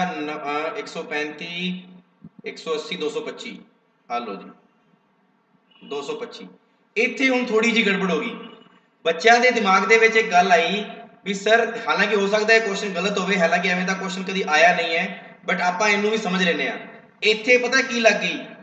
ਇੱਥੇ ਸੀਰੀਜ਼ ਲੱਗ ਗਈ। ਯਾਨੀ ਜਿਹਨੂੰ ਆਪਾਂ ਸ਼੍ਰੰਖਲਾ ਕਹਿ ਦਿੰਨੇ ਆ ਯਾਨੀ ਆਪਾਂ ਨੂੰ ਇਹ ਪਤਾ ਹੈ ਕਿ 135 ਹੋਣਾ ਚਾਹੀਦਾ ਸੀ ਅੱਗੇ, ਕਿਉਂਕਿ ਆਪਾਂ ਸੱਜੇ ਬੰਨੇ ਗਏ। ਜਦੋਂ ਸੱਜੇ ਬੰਨੇ ਗਏ ਤੇ 135 ਡਿਗਰੀ ਇੱਧਰ ਆਇਆ, ਔਰ ਇੱਧਰ ਵੀ ਸੱਜੇ ਬੰਨੇ ਜਾਵਾਂਗੇ, ਖੱਬੇ ਨਹੀਂ ਜਾ ਸਕਦੇ। ਕਈ ਬੱਚਿਆਂ ਨੇ ਮੈਨੂੰ ਪਤਾ ਖੱਬੇ ਲੈ ਕੇ ਗਏ ਹੋਣਗੇ। ਨਹੀਂ, ਤੁਸੀਂ ਸੱਜੇ ਹੀ ਜਾਣਾ ਹੈ। ਸੱਜੇ ਜਾਓਗੇ ਤਾਂ ਹੁਣ ਤੁਹਾਨੂੰ ਪਤਾ ਲੱਗ ਗਿਆ 225 ਠੀਕ ਹੈ ਜੀ। ਹੁਣ ਆਪਾਂ ਅਗਲੇ ਵਾਰੀ ਵੀ ਸੱਜੇ ਹੀ ਜਾਣਾ ਹੈ। ਲੇਕਿਨ ਆਪਾਂ ਨੂੰ ਪਤਾ ਹੈ ਕਿ ਇਹਦੇ ਵਿੱਚ ਕਿੰਨੇ ਦਾ ਜੋੜ ਹੋਇਆ। ਇਹਦੇ ਵਿੱਚ ਹੋਇਆ ਜੀ ਸਰ ਕਿੰਨੇ ਦਾ ਜੋੜ ਦੇਖ ਲਓ ਧਿਆਨ ਨਾਲ ਸਾਰੇ ਜਣੇ। 0 90 ਦਾ। ਕਿੰਨੇ ਦਾ ਗੈਪ ਆਇਆ? 90 ਦਾ। ਇਹਦਾ ਭਾਵ ਇਹ ਹੋਇਆ ਕਿ ਤੁਸੀਂ ਹੁਣ ਦੁਬਾਰਾ ਫੇਰ 90 ਹੋਰ ਜੋੜ ਦਿਓ। ਇਹਦੇ ਵਿੱਚ 90 ਜੋੜ ਦੋਗੇ ਤਾਂ ਕਿੰਨਾ ਆ ਜਾਏਗਾ? 5 9 ਤੇ 2 11 2 ਤੇ 1 3 ਯਾਨੀ ਤੁਹਾਨੂੰ ਹੁਣ 315 ਡਿਗਰੀ ਘੁਮਾਉਣਾ ਹੈ। ਤੁਹਾਨੂੰ ਹੁਣ ਕਿੰਨੇ ਡਿਗਰੀ ਘੁਮਾਉਣਾ ਹੈ? 315 ਡਿਗਰੀ ਘੁਮਾਉਣਾ ਹੈ ਰਾਈਟ ਸਾਈਡ ਦੇ ਵਿੱਚ। ਚਲੋ ਜੀ, ਆ ਜਾਓ ਜੀ। ਬਹੁਤ ਅੱਛਾ ਕੁਐਸਚਨ ਬਣ ਗਿਆ ਵੈਸੇ। ਹਾਲਾਂਕਿ ਐਵੇਂ ਦਾ ਆਇਆ ਨਹੀਂ ਕਦੀ ਅੱਜ ਤੱਕ ਬਟ ਆ ਜੇ ਤਾਂ ਤੁਸੀਂ ਕਰ ਸਕਦੇ ਹੋ ਹੁਣ। ਯੈਸ 315 ਡਿਗਰੀ ਰਾਈਟ ਵੱਲ ਜਾਣਾ ਹੈ। ਕਿੰਨੂੰ ਵੈਸਟ ਆ ਰਿਹਾ ਜੀ ਵੈਸਟ ਇਹਨੂੰ 315 ਡਿਗਰੀ ਰਾਈਟ ਵੱਲ ਲੈ ਕੇ ਜਾਓ।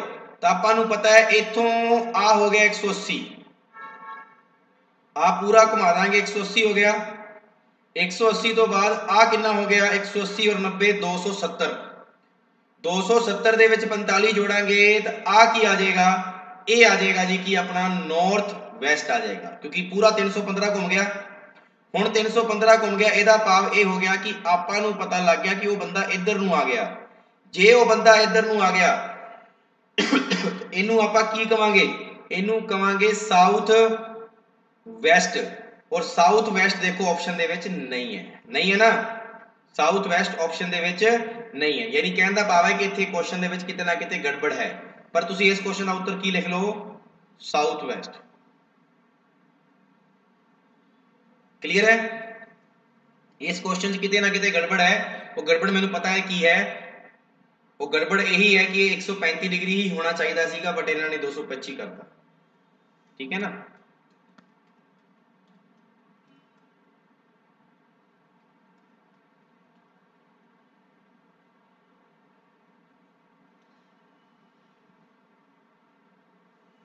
ਹਾਂਜੀ, ਦੱਸੋ ਵੀ, ਸਮਝ ਆ ਗਿਆ ਕਿ ਨਹੀਂ ਆਇਆ ਇਹ ਕੁਐਸਚਨ ਫਟਾਫਟ ਦੱਸੋ।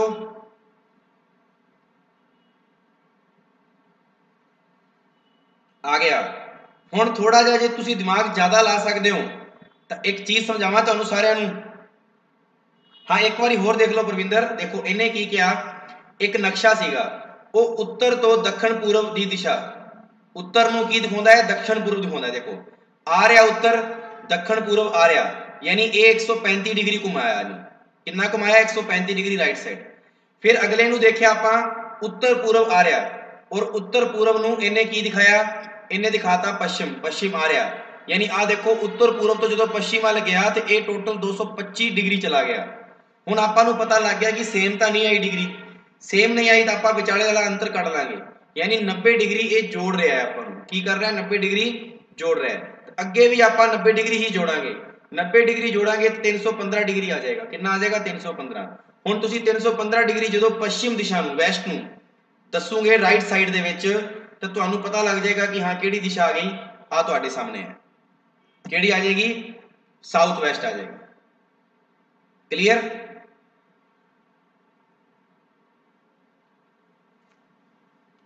ਹੁਣ ਇਸੇ ਕੁਐਸਚਨ ਨੂੰ ਕਰਨ ਦਾ ਇੱਕ ਤਰੀਕਾ ਹੋਰ ਦੱਸਦਾ ਮੈਂ ਤੁਹਾਨੂੰ ਸਾਰਿਆਂ ਨੂੰ।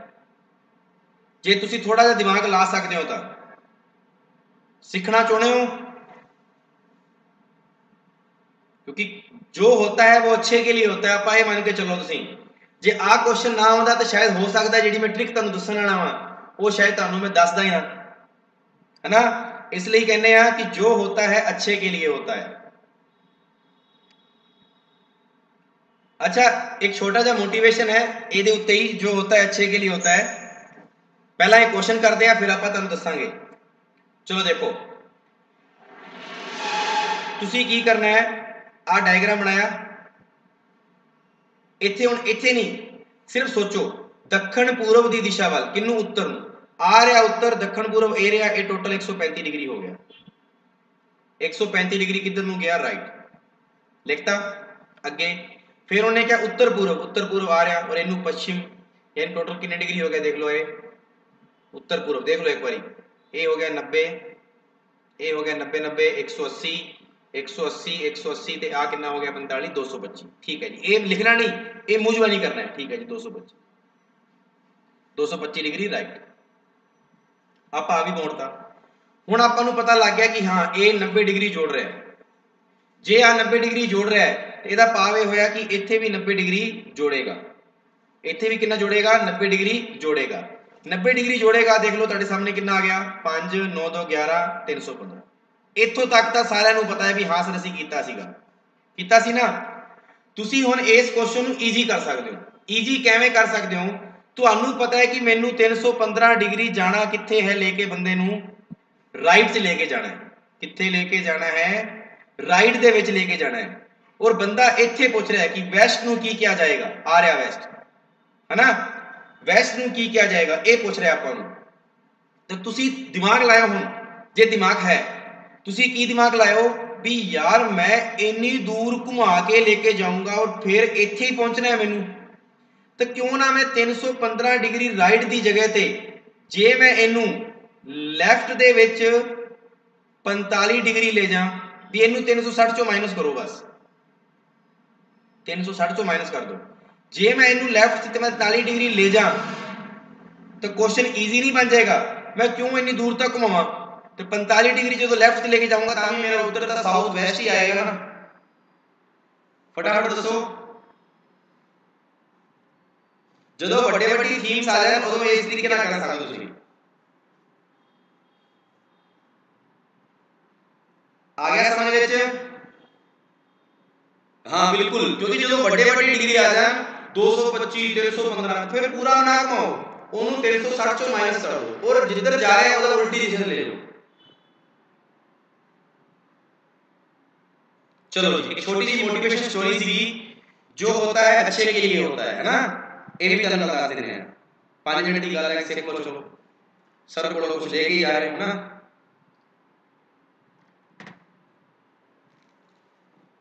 ਦੇਖਿਓ ਵੀ ਸਾਰੇ ਜਣੇ ਕੀ ਹੁੰਦਾ ਹੈ ਇੱਕ ਹੁੰਦਾ ਹੈ ਅਕਬਰ ਇੱਕ ਹੁੰਦਾ ਹੈ ਅਕਬਰ ਠੀਕ ਹੈ ਜੀ ਤੇ ਇੱਕ ਹੁੰਦਾ ਹੈ ਬੀਰਬਲ ਅਕਬਰ ਕੀ ਕਹਿੰਦਾ ਹੈ ਬੀਰਬਲ ਨੂੰ ਕਿ ਹਾਂਜੀ ਨਜ਼ਰਾਨਾ ਪੇਸ਼ ਕਰੋ ਹਾਂਜੀ ਪੇਸ਼ ਕਰ ਰਹੇ ਹਾਂ ਅਕਬਰ ਕੀ ਕਹਿੰਦਾ ਹੈ ਬੀਰਬਲ ਨੂੰ ਕਿ ਯਾਰ ਆਪਣੀ ਲੜਾਈ ਹੈ ਤੇ ਆਪਾਂ ਲੜਨ ਚੱਲਣਾ ਹੈ ਬੀਰਬਲ ਕਹਿੰਦਾ ਬਿਲਕੁਲ ਜੀ, ਤਿਆਰ ਹੈ ਜੀ ਮੈਂ, ਬਿਲਕੁਲ ਤਿਆਰ ਹਾਂ, ਆਪਾਂ ਚੱਲਾਂਗੇ। ਕਿਉਂਕਿ ਨੈਚੁਰਲ ਜੀ ਗੱਲ ਹੈ, ਸੈਨਾਪਤੀ ਹੈ, ਤਾਂ ਸਾਰੇ ਸੈਨਾਪਤੀ ਇਕੱਠੇ ਕਰੇਗਾ। ਅਕਬਰ ਕਹਿੰਦਾ, ਆਪਣੀ ਲੜਾਈ ਕੱਲ ਹੈ। ਆਪਣੀ ਲੜਾਈ ਕੱਲ ਹੈ। ਸੋ ਤੁਸੀਂ ਸਾਰੀ ਸੈਨਾ ਨੂੰ ਤਿਆਰ ਕਰ ਲਿਓ। ਆਪਣੀ ਲੜਾਈ ਜਿਹੜੀ ਹੈ, ਉਹ ਆਦੀਵਾਸੀਆਂ ਨਾਲ ਹੈ। ਬੜੇ ਭੈੜੇ ਹੁੰਦੇ ਨੇ ਜੀ ਆਦੀਵਾਸੀ। ਉਹਨੇ ਇਹ ਗੱਲ ਕਹੀ। ਉਹ ਕਹਿੰਦਾ, ਠੀਕ ਹੈ ਜੀ। ਹੁਣ ਹੋਇਆ ਕਿ? ਇੱਕ ਛੋਟਾ ਜਿਹਾ ਮੋਟੀਵੇਸ਼ਨ ਹੈ ਧਿਆਨ ਰੱਖਣਾ। ਜੋ ਹੋਤਾ ਹੈ, ਅੱਛੇ ਕੇ ਲਈ ਹੋਤਾ ਹੈ, ਉਹਦੇ ਉੱਤੇ। ਅਕਬਰ ਨੇ ਬੀਰਬਲ ਨੂੰ ਕਹਿ ਕੇ ਚਲਾ ਗਿਆ ਉਹਦੇ ਘਰੇ। ਹੁਣ ਜਦੋਂ ਘਰੇ ਗਿਆ ਤਾਂ ਉੱਥੇ ਕੀ ਹੋਇਆ? ਉਹਦੀ ਜਿਹੜੀ ਘਰ ਸੀ, ਉਹ ਹੈ ਨਹੀਂ ਸੀ। ਜਦੋਂ ਉਹਦੀ ਘਰ ਹੈ ਨਹੀਂ ਸੀ ਤਾਂ ਅਕਬਰ ਕਹਿੰਦਾ ਵੀ ਇਹ ਰੋਟੀ ਤਾਂ ਬਣਾਉਣੀ ਪਏਗੀ, ਸਬਜ਼ੀ ਵੀ ਬਣਾਉਣੀ ਪਏਗੀ। ਤਾਂ ਉਹਨੇ ਕੀ ਕਰਨਾ ਸ਼ੁਰੂ ਕਰ ਦਿੱਤਾ? ਸਬਜ਼ੀਆਂ ਕੱਟਣੀਆਂ ਸ਼ੁਰੂ ਕਰ ਦਿੱਤੀਆਂ। ਉਹ ਕਹਿੰਦਾ, ਠੀਕ ਹੈ ਜੀ। ਜਦੋਂ ਉਹਨੇ ਸਬਜ਼ੀਆਂ ਕੱਟਣੀਆਂ ਸ਼ੁਰੂ ਕਰਤੀਆਂ ਅਕਬਰ ਨੇ, ਤੇ ਕੱਟਦੇ ਕੱਟਦੇ ਕੀ ਹੋਇਆ? ਉਹਦਾ ਅੰਗੂਠਾ ਕੱਟਿਆ ਗਿਆ। ਯਾਨੀ ਉਹਦੇ ਅੰਗੂਠੇ 'ਚ ਕੀ ਆ ਗਈ? ਤਰੇੜ ਪੈ ਗਈ। ਇਹ ਮੰਨ ਲਓ, ਚਾਕੂ ਨਾਲ ਕੱਟਿਆ ਗਿਆ। ਤਾਂ ਅਕਬਰ ਬਹੁਤ ਜ਼ਿਆਦਾ ਚਿੰਤਿਤ ਹੋ ਗਿਆ। ਅਕਬਰ ਕਹਿੰਦਾ ਵੀ, ਯਾਰ, ਮੈਂ ਤਾਂ ਬੀਰਬਲ ਨੂੰ ਕਹਿਤਾ ਵੀ ਕੱਲ ਆਪਣੀ ਲੜਾਈ ਹੈ ਔਰ ਤੂੰ ਸੈਨਾ ਨੂੰ ਇਕੱਠਾ ਕਰ ਲਿਆ ਔਰ ਮੈਂ ਪੂਰਾ ਮੁਖੀਆ ਵਾਂ ਉਸ ਕਾਰਾਗਰ ਦਾ, ਯਾਨੀ ਉਸ ਸਿਸਟਮ ਦਾ। ਤੇ ਮੇਰਾ ਤਾਂ ਅੰਗੂਠਾ ਕੱਟ ਗਿਆ, ਮੈਂ ਲੜੂੰਗਾ ਕਿਵੇਂ? ਅਕਬਰ ਫਟਾਫਟ ਭੱਜਿਆ ਭੱਜਿਆ ਕਿਹਦੇ ਕੋ ਜਾਂਦਾ ਹੈ? ਬੀਰਬਲ ਕੋ ਜਾਂਦਾ ਹੈ। ਔਰ ਬੀਰਬਲ ਨੂੰ ਕਹਿੰਦਾ ਹੈ ਕਿ? ਕਿ ਯਾਰ ਬੀਰਬਲ ਜੀ, ਸੈਨਾਪਤੀ ਜੀ, ਮੇਰਾ ਤਾਂ ਅੰਗੂਠਾ ਕੱਟਿਆ ਗਿਆ। ਮੈਂ ਕਿਵੇਂ ਲੜੂੰਗਾ ਕੱਲ? ਬੀਰਬਲ ਅੱਗੇ ਪਤਾ ਕੀ ਕਹਿੰਦਾ ਹੈ? ਬੀਰਬਲ ਕਹਿੰਦਾ ਹੈ, ਜੋ ਹੋਤਾ ਹੈ, ਜੋ ਹੋਤਾ ਹੈ अच्छे के लिए होता है ਉਹਨੇ ਇਹ ਗੱਲ ਕਹੀ ਬੀਰਬਲ ਨੇ ਵੀ ਜੋ ਹੁੰਦਾ ਹੈ ਅੱਛੇ ਕੇ ਲਈ ਹੁੰਦਾ ਹੈ ਅਕਬਰ ਕਹਿੰਦਾ ਯਾਰ ਮੇਰਾ ਅੰਗੂਠਾ ਕੱਟਿਆ ਗਿਆ ਤੈਨੂੰ ਪਈ ਹੈ ਜੋ ਹੁੰਦਾ ਹੈ ਅੱਛੇ ਕੇ ਲਈ ਹੁੰਦਾ ਹੈ ਇਹ ਕਹਾਵਤਾਂ ਪਿੱਛੇ ਰਹਿ ਜਾਂਦੀਆਂ ਨੇ ਨਹੀਂ ਉਹ ਕਹਿੰਦਾ ਮੈਂ ਦੱਸ ਕੀ ਕਰਾਂ ਤੂੰ ਮੇਰੀ ਥਾਂ ਤੇ ਚਲਾ ਜਾ ਉਹ ਕਹਿੰਦਾ ਉਹ ਕਹਿੰਦਾ ਅਕਬਰ ਕਹਿੰਦਾ ਤੂੰ ਮੇਰੀ ਥਾਂ ਤੇ ਚਲਾ ਜਾ ਬੀਰਬਲ ਕਹਿੰਦਾ ਨਾ ਜੀ ਨਾ ਮੈਂ ਇਕੱਲਾ ਨਹੀਂ ਜਾਂਦਾ वो हजे भी फिर कहता ਜੋ ਹੋਤਾ ਹੈ ਅੱਛੇ ਕੇ ਲਈ ਹੋਤਾ ਹੈ, ਜੋ ਹੋਤਾ ਹੈ ਅੱਛੇ ਕੇ ਲਈ ਹੋਤਾ ਹੈ। ਇੰਨਾ ਸੁਣਦੇ ਅਕਬਰ ਨੂੰ ਆ ਜਾਂਦਾ ਹੈ ਗੁੱਸਾ। ਗੁੱਸਾ ਕਹਿੰਦਾ, ਲੜਾਈ ਤਾਂ ਮੈਂ ਬਾਅਦ ਚ ਕਰੂੰਗਾ ਆਦੀਵਾਸੀਆਂ ਨਾਲ, ਪਹਿਲਾਂ ਤੈਨੂੰ ਹੀ ਸੜਨਾ ਤਾਂ ਅਕਬਰ ਬੀਰਬਲ ਨੂੰ ਕਹਿੰਦਾ ਹੈ, ਮੇਰੇ ਵੱਲੋਂ ਆਦੇਸ਼ ਦਿੱਤਾ ਜਾਂਦਾ ਹੈ ਕਿ ਤੈਨੂੰ ਸਵੇਰੇ 5 ਵਜੇ ਤੂੰ ਮੇਰੇ ਅੱਗੇ ਬੋਲਿਆ ਔਰ ਮੇਰੇ ਤੇ ਗੁੱਸਾ ਕੀਤਾ, ਤੂੰ ਸਵੇਰੇ 5 ਵਜੇ ਸਾਰੀ ਸੈਨਾ ਨੂੰ, ਜਿਹੜੇ ਵੀ ਉੱਥੇ ਬੈਠੇ ਹੁੰਦੇ ਉਹਨਾਂ ਨੂੰ ਕਹਿੰਦਾ ਹੈ ਕਿ ਜਾ ਕੇ ਸਵੇਰੇ 5 ਵਜੇ ਇਹਨੂੰ ਸੂਲੀ ਤੇ ਚੜਾ ਦਿਓ। ਇਹ ਮੇਰਾ, ਮੇਰੇ ਪੱਖ ਦਾ ਬੰਦਾ ਨਹੀਂ ਹੈ। ਇਹ ਲੜਨ ਨਹੀਂ ਜਾ ਸਕਦਾ ਜੇ ਮੈਂ ਬਿਮਾਰ ਆਇਆ, ਮੇਰੇ ਕੁਝ ਹੋਇਆ ਹੈ। ਬੀਰਬਲ ਹਜੇ ਵੀ ਕਹਿ ਰਿਹਾ ਹੈ, ਜੋ ਹੁੰਦਾ ਹੈ ਅੱਛੇ ਵਾਸਤੇ ਹੁੰਦਾ ਹੈ ਜੀ, ਜੋ ਹੁੰਦਾ ਹੈ ਅੱਛੇ ਵਾਸਤੇ ਹੁੰਦਾ ਹੈ ਜੀ। ਦੈਟਸ ਆਲ ਬੀਰਬਲ ਆਪਦੇ ਘਰੇ ਚਲਾ ਗਿਆ। ਅਕ ਸੌਰੀ ਅਕਬਰ ਆਪਦੇ ਘਰੇ ਚਲਾ ਗਿਆ ਔਰ ਬੀਰਬਲ ਨੂੰ ਲੈ ਗਏ ਕਾਰਾਗਾਰ ਦੇ ਵਿੱਚ ਪਾ ਦਿੱਤਾ। ਕਾਰਾਗਾਰ ਵਿੱਚ ਪਾ ਦਿੱਤਾ। ਅਕਬਰ ਕਹਿੰਦਾ ਵੀ ਮੈਨੂੰ ਤਾਂ ਹੁਣ ਲੜਨ ਜਾਣਾ ਹੀ ਪਏਗਾ ਆਦੀਵਾਸੀਆਂ ਦੇ ਨਾਲ। ਕਿਉਂਕਿ ਮੇਰੀ ਤਾਂ ਇੱਜ਼ਤ ਦਾ ਸਵਾਲ ਹੈ। ਜੇ ਮੈਂ ਨਹੀਂ ਜਾਵਾਂਗਾ ਤਾਂ ਸਾਰੇ ਜਣੇ ਖੁਸ਼ ਹੋਣਗੇ ਵੀ ਇਹ ਤਾਂ ਆਇਆ ਹੀ ਨਹੀਂ। ਡਰ ਗਏ ਪਹਿਲਾਂ ਹੀ। ਹੁਣ ਹੋਇਆ ਕਿ? ਅਕਬਰ ਆਪਦੀ ਸੈਨਾ ਨੂੰ ਤਿਆਰ ਕਰਦਾ ਹੈ ਔਰ ਅੰਗੂਠੇ ਤੇ ਪੱਟੀ ਬੰਨ ਲੈਂਦਾ ਹੈ ਔਰ ਜਾਂਦਾ ਹੈ ਕਿੱਥੇ? ਆਪਣੇ ਲੜਾਈ ਕਰਨ। ਹੁਣ ਨੈਚੁਰਲ ਜੀ ਗੱਲ ਹੈ। ਬੀਰਬਲ ਦੇ ਵਿੱਚ ਦਿਮਾਗ ਸੀਗਾ। ਉਹ ਦਿਮਾਗ ਨਾਲ ਜਿੱਤ ਸਕਦਾ ਸੀਗਾ। ਤੇ ਇਸ ਕਰਕੇ ਬੀਰਬਲ ਤਾਂ ਉੱਥੇ ਹੈ ਨਹੀਂ, ਕਿਉਂਕਿ ਬੀਰਬਲ ਨੂੰ ਤੋਂ ਨੇ ਕਾਰਾਗਰ ਵਿੱਚ ਪਾ ਦਿੱਤਾ। ਅਕਬਰ ਆਦੀਵਾਸੀਆਂ ਨਾਲ ਲੜਾਈ ਕਰਦਾ ਹੈ, ਸੈਨਾ ਨਾਲ, ਸਾਰੀ ਸੈਨਾ ਨਾਲ ਵੀ ਲੜਾਈ ਕਰਦਾ ਹੈ, ਲੇਕਿਨ ਇੱਕ ਟਾਈਮ ਇਹੋ ਜਿਹਾ ਆਉਂਦਾ ਹੈ ਕਿ ਉਹਦਾ ਅੰਗੂਠਾ ਸਾਥ ਨਹੀਂ ਦਿੰਦਾ, ਤਲਵਾਰ ਨਹੀਂ ਫੜੀ ਜਾਂਦੀ ਔਰ ਆਦੀਵਾਸੀ ਮੁਖੀਆਂ ਨੂੰ ਫੜ ਲੈਂਦੇ ਆ, ਅਕਬਰ ਨੂੰ ਫੜ ਲੈਂਦੇ ਆ। ਅਕਬਰ ਨੂੰ ਫੜ ਲੈਂਦੇ ਆ। ਅਕਬਰ ਨੂੰ ਉਦੋਂ ਇੰਨਾ ਗੁੱਸਾ ਆਉਂਦਾ ਹੈ ਕਿ ਕਾਸ਼ ਬੀਰਬਲ ਹੁੰਦਾ ਅੱਜ ਹੋ ਸਕਦਾ ਹੈ ਉਹਦਾ ਦਿਮਾਗ ਚੱਲਦਾ, ਲੇਕਿਨ ਬੀਰਬਲ ਨੇ ਮੇਰੇ, ਮੈਨੂੰ ਗੁੱਸਾ ਕੀਤਾ ਔਰ ਮੈਂ ਆਪਦੇ ਗੁੱਸੇ ਤੇ ਕੰਟਰੋਲ ਨਹੀਂ ਕੀਤਾ ਔਰ ਮੈਂ ਉਹਨੂੰ ਕਾਰਾਗਾਰ ਚ ਪਾ ਦਿੱਤਾ। ਹੁਣ ਹੁੰਦਾ ਕੀ ਹੈ, ਜਦੋਂ ਆਦੀਵਾਸੀ ਅਕਬਰ ਨੂੰ ਪੁੱਠਾ ਲਟਕਾ ਦਿੰਦੇ ਆ ਔਰ ਹੂ ਲਾ ਲਾ ਲਾ, ਹੂ ਲਾ ਲਾ ਲਾ ਕਰਦੇ ਆ, ਔਰ ਉਹ ਉਹਦੀ ਬਲੀ ਚਰਾਉਣ ਲੱਗਦੇ ਆ, ਕਿਉਂਕਿ ਜਦੋਂ ਕਿਸੇ ਵੀ ਸੈਨਾ ਦਾ ਮੁਖੀਆ ਫੜਿਆ ਜਾਂਦਾ ਹੈ, ਤਾਂ ਉਹਦੇ ਜਿੰਨੇ ਵੀ ਸੈਨਾਪਤੀ ਹੁੰਦੇ ਨੇ, ਉਹ ਸਾਰੇ ਉਹਦੇ ਅੰਡਰ ਚ ਆ ਜਾਂਦੇ ਨੇ, ਉਸ ਟਾਈਮ ਦੇ ਵਿੱਚ। ਤਾਂ ਅਕਬਰ ਨੂੰ ਪੁੱਠਾ ਲਟਕਾ ਕੇ ਔਰ ਆਦੀਵਾਸੀ ਕੀ ਕਰ ਰਹੇ ਨੇ? ਸਵੇਰ ਦੀਆਂ ਤਿਆਰੀਆਂ ਕਰ ਰਹੇ ਨੇ ਕਿ ਆਪਦੇ ਬੰਦੇ ਨੂੰ, ਆਪਦੇ ਮੁਖੀਆਂ ਨੂੰ ਕੀ ਦਵਾਂਗੇ? ਆਪਦੇ ਮੁਖੀਆਂ ਨੂੰ ਬਲੀ ਦਵਾਂਗੇ। ਅਕਬਰ ਬਹੁਤ ਜ਼ਿਆਦਾ ਨਾਰਾਜ਼ ਹੁੰਦਾ ਹੈ, ਗੁੱਸਾ ਹੁੰਦਾ ਹੈ, ਰੋ ਰਿਹਾ ਹੁੰਦਾ ਹੈ ਕਿ ਕਿਉਂ ਮੈਂ ਔਰ ਆਪਦੀ ਘਰ ਵਾਲੀ ਨੂੰ ਵੀ ਕਹਿ ਰਿਹਾ ਹੁੰਦਾ ਵੀ ਕਿਉਂ ਗਈ? ਕੀ ਪਤਾ ਨਾ ਜਾਂਦੀ ਤਾਂ ਅੱਜ ਬੀਰਬਲ ਵੀ ਮੇਰੇ ਨਾਲ ਹੁੰਦਾ। ਹੁਣ ਹੋਇਆ ਕੀ? ਹੁਣ ਹੋਇਆ ਕੀ? ਕਿ ਆਦੀਵਾਸੀ ਜਿਹੜੇ ਸੀਗੇ, ਉਹ ਸਵੇਰੇ 5 ਵਜੇ ਜਦੋਂ ਬਲੀ ਦੇਣ ਲੱਗੇ, ਉਹਨੂੰ ਨਵਾਉਣਾ ਸ਼ੁਰੂ ਕੀਤਾ ਅਕਬਰ ਨੂੰ। ਜਿਵੇਂ ਹੀ ਨਵਾਉਣ ਲੱਗੇ ਨਵਾਉਂਦੇ ਹੀ ਦੇਖਿਆ ਕਿ ਉਹਦਾ ਤਾਂ ਅੰਗੂਠਾ ਕੱਟਿਆ ਹੋਇਆ ਸੀ। ਉਹਦਾ ਤਾਂ ਅੰਗੂਠਾ ਕੱਟਿਆ ਹੋਇਆ ਸੀ। ਔਰ ਅੰਗੂਠਾ ਕੱਟਿਆ ਹੋਇਆ ਸੀਗਾ, ਤੇ ਕੀ ਹੋਇਆ? ਆਦੀਵਾਸੀ ਕਹਿੰਦੇ, ਨਹੀਂ ਜੀ, ਇਹਨੂੰ ਛੱਡ ਦਿਓ ਅਸੀਂ ਆਪਦੇ ਗੁਰੂ ਨੂੰ ਇਹੋ ਜੀ ਬਲੀ ਨਹੀਂ ਦਵਾਂਗੇ। ਜਿਹੜਾ ਕੀ ਕੀ ਹੈ, ਜਿਹੜਾ ਕਿ ਪਹਿਲਾਂ ਤੋਂ ਹੀ ਕੀ ਹੈ ਗਲਤ ਹੈ। ਉਹ ਕਹਿੰਦੇ ਆ, ਅਕਬਰ ਨੂੰ, ਜਾ ਤੈਨੂੰ ਛੱਡਿਆ, ਤੂੰ ਸਾਡੇ ਕਿਸੇ ਕੰਮ ਦਾ ਨਹੀਂ ਹੈ। ਅਸੀਂ ਆਪਦੇ ਮੁਖੀਆਂ ਨੂੰ ਨਹੀਂ ਦੇ ਸਕਦੇ, ਅਸੀਂ ਆਪਦੇ ਮੁਖੀਆਂ ਨੂੰ ਐਵੇਂ ਦੀ ਬਲੀ ਨਹੀਂ ਦੇਵਾਂਗੇ। ਬਿਲਕੁਲ ਸ਼ੁੱਧ ਬਲੀ ਦੇਵਾਂਗੇ। ਤੂੰ ਪਾਜਾ ਇੱਥੋਂ, ਆਪਦੀ ਸੈਨਾ ਨੂੰ ਮਿਲੇ ਜਾ। ਹੁਣ ਕੀ ਹੋਇਆ? ਅਕਬਰ ਬਹੁਤ ਹੀ ਭੂਚੱਕਾ ਹੋ ਗਿਆ। ਅਕਬਰ ਕਹਿੰਦਾ ਕਿ ਯਾਰ ਬੀਰਬਲ ਨੇ ਇੱਕ ਗੱਲ ਕਹੀ ਸੀ, ਉਹ ਗੱਲ ਮੇਰੇ ਦਿਮਾਗ 'ਚ ਆ ਗਈ ਕਿ ਜੋ ਹੁੰਦਾ ਹੈ ਚੰਗੇ ਵਾਸਤੇ ਹੁੰਦਾ ਹੈ। ਕਿ ਯਾਰ ਜੇ ਮੇਰਾ ਅੰਗੂਠਾ ਕੱਟਿਆ ਨਾ ਹੁੰਦਾ, ਤੇ ਇਹਨਾਂ ਨੇ ਤਾਂ ਮੇਰਾ ਪਟਾਕਾ ਪਾ ਦੇਣਾ ਸੀ ਅੱਜ। ਇਹਨਾਂ ਨੇ ਤਾਂ ਮੇਰਾ ਪਟਾਕਾ ਪਾ ਦੇਣਾ ਸੀ। ਅਕਬਰ ਕਹਿੰਦਾ ਕਿ ਇਹਨਾਂ ਨੇ ਤਾਂ ਮੇਰਾ ਪਟਾਕਾ ਪਾ ਦੇਣਾ ਸੀਗਾ। ਯਾਰ, ਬੀਰਬਲ ਦੀ ਗੱਲ ਤਾਂ ਬਹੁਤ ਹੀ ਸਿਰੇ ਦੀ ਲੱਗੀ ਮੈਨੂੰ ਕਿ ਜੋ ਹੁੰਦਾ ਹੈ, ਚੰਗੇ ਵਾਸਤੇ ਹੁੰਦਾ ਹੈ। ਜੇ ਮੇਰਾ ਅੰਗੂਠਾ ਨਾ ਕੱਟਿਆ ਹੁੰਦਾ, ਤੇ ਇਹ ਤਾਂ ਮੇਰੀ ਰੀਲ ਬਣਾ ਦਿੰਦੇ। ਜਾਂਦੇ ਨਾ? ਉਹ ਬੀਰਬਲ ਨੂੰ ਸੋਚਦਾ ਹੈ ਕਿ ਯਾਰ ਉਹਨੇ ਦਿਮਾਗ ਲਾਇਆ ਸੀ। ਉਹ ਬੀਰਬਲ ਦੇ ਕੋਲੇ ਫਟਾਫਟ ਭੱਜਿਆ ਭੱਜਿਆ ਜਾਂਦਾ ਹੈ।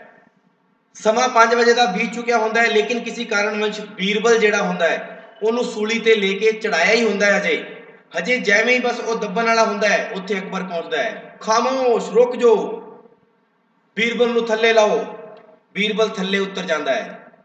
ਬੀਰਬਲ ਹਜੇ ਵੀ ਕਹਿ ਰਿਹਾ ਹੁੰਦਾ ਹੈ, ਦੇਖਿਆ ਅਕਬਰ ਜੀ ਜੋ ਹੁੰਦਾ ਹੈ, ਚੰਗੇ ਵਾਸਤੇ ਹੁੰਦਾ ਹੈ। ਅਕਬਰ ਕਹਿੰਦਾ, ਯਾਰ, ਮੈਂ ਤੇਰੇ ਨਾਲ ਇਹੋ ਜਿਹਾ ਸਲੂਕ ਕੀਤਾ ਤੂੰ ਹਜੇ ਵੀ ਇਹੀ ਗੱਲ ਕਹਿ ਰਿਹਾ ਹੈ ਕਿ ਜੋ ਹੁੰਦਾ ਹੈ ਚੰਗੇ ਵਾਸਤੇ ਹੁੰਦਾ ਹੈ, ਜੋ ਹੁੰਦਾ ਹੈ ਚੰਗੇ ਵਾਸਤੇ। ਇਹਦੇ ਵਿੱਚ ਇਹੋ ਜੀ ਕੀ ਗੱਲ ਹੋਈ? ਕਹਿੰਦਾ, ਜਨਾਬ, ਜੇ ਮੈਂ ਆ ਗੱਲ ਤੁਹਾਨੂੰ ਨਾ ਕਹਿੰਦਾ, ਤੇ ਤੁਸੀਂ ਮੈਨੂੰ ਕਾਰਾਗਾਰ 'ਚ ਨਹੀਂ ਪਾਉਣਾ ਸੀ। ਨਹੀਂ ਪਾਉਣਾ ਸੀ, ਤੁਸੀਂ ਮੈਨੂੰ ਨਾਲ ਲੈ ਕੇ ਜਾਣਾ ਸੀਗਾ। ਕਹਿੰਦਾ, ਹਾਂਜੀ, ਤੈਨੂੰ ਨਾਲ ਲੈ ਕੇ ਜਾਣਾ ਸੀ, ਫਿਰ ਤਾਂ ਮੈਂ। ਕਹਿੰਦਾ, ਜੇ ਤੁਸੀਂ ਮੈਨੂੰ ਨਾਲ ਲੈ ਕੇ ਜਾਂਦੇ, ਅਰੇ ਤੁਸੀਂ ਤਾਂ ਬਚ ਜਾਂਦੇ। ਉਹ ਮੇਰੀ ਤੇ ਰੇਲ ਬਣਾ ਦਿੰਦੇ, ਮੇਰਾ ਪਟਾਕਾ ਪਾ ਦੇਣਾ ਸੀ ਉਹਨਾਂ ਨੇ। ਇਸ ਕਰਕੇ ਕਹਿੰਦੇ ਨੇ, ਜੋ ਹੁੰਦਾ ਹੈ, ਚੰਗੇ ਵਾਸਤੇ ਹੁੰਦਾ ਹੈ। ਅੱਜ ਆਪਾਂ ਦੋਨੋਂ ਹੀ ਬਚੇ ਹੋਏ ਆ ਦੁਆਰਾ ਫੇਰ ਲੜ ਸਕਦੇ ਆ ਆਦੀਵਾਸੀਆਂ ਨਾਲ। ਯੈਸ ਜਾਂ ਨੋ ਸੋ ਇੱਕ ਛੋਟਾ ਜਿਹਾ ਸਟੋਰੀ ਸੀ ਮੋਟੀਵੇਸ਼ਨ ਸੀਗਾ ਕਿ ਜੋ ਹੁੰਦਾ ਹੈ, ਚੰਗੇ ਵਾਸਤੇ ਹੁੰਦਾ ਹੈ। ਇਸੇ ਕਰਕੇ ਇਸ ਕੁਐਸਚਨ ਨੇ ਵੀ ਸਾਨੂੰ ਬਹੁਤ ਵਧੀਆ ਚੀਜ਼ ਦੱਸੀ ਕਿ ਜੋ ਹੁੰਦਾ ਹੈ, ਚੰਗੇ ਵਾਸਤੇ ਹੁੰਦਾ ਹੈ। ਸੋ ਤੁਹਾਨੂੰ ਕਿਹੋ ਜਿਹਾ ਲੱਗਿਆ ਮੋਟੀਵੇਸ਼ਨ ਫਟਾਫਟ ਦੱਸੋ। ਬਹੁਤ ਵਧੀਆ। ਬਹੁਤ ਹੀ ਵਧੀਆ ਬਈ ਹੂੰ ਟੌਪ ਦਾ ਲੱਗਿਆ। ਠੀਕ ਹੈ ਜੀ। ਚਲੋ ਜੀ। ਅਗਲੇ ਕੁਐਸਚਨ ਦਾ ਜਵਾਬ ਦਿਓ ਸਾਰੇ ਜਣੇ। ਅਗਲੇ ਕੁਐਸਚਨ ਦਾ ਜਵਾਬ ਦਿਓ ਸਾਰੇ ਜਣੇ ਫਟਾਫਟ।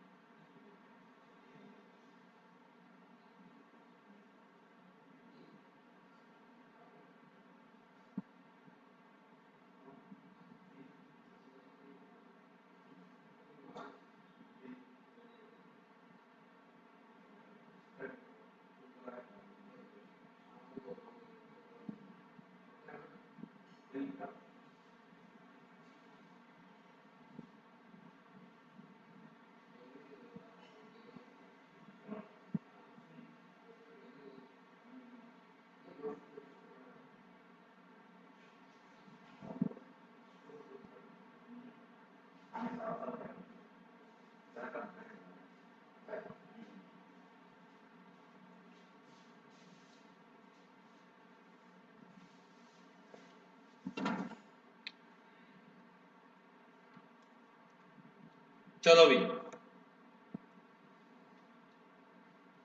ਤਰੁਣ ਜੀ ਕੱਲ ਕਲਾਸ ਛੁੱਟੀ ਰਹੇਗੀ ਕੱਲ ਕਲਾਸ ਦੀ, ਠੀਕ ਹੈ ਨਾ? ਇੱਕ ਦਿਨ ਦਾ ਦੋ ਯਾਰ ਟੀਚਰ ਨੂੰ। ਜੇ ਉੱਤਰ ਪੂਰਬ ਦੀ ਦਿਸ਼ਾ, ਦੱਖਣ ਪੂਰਬ।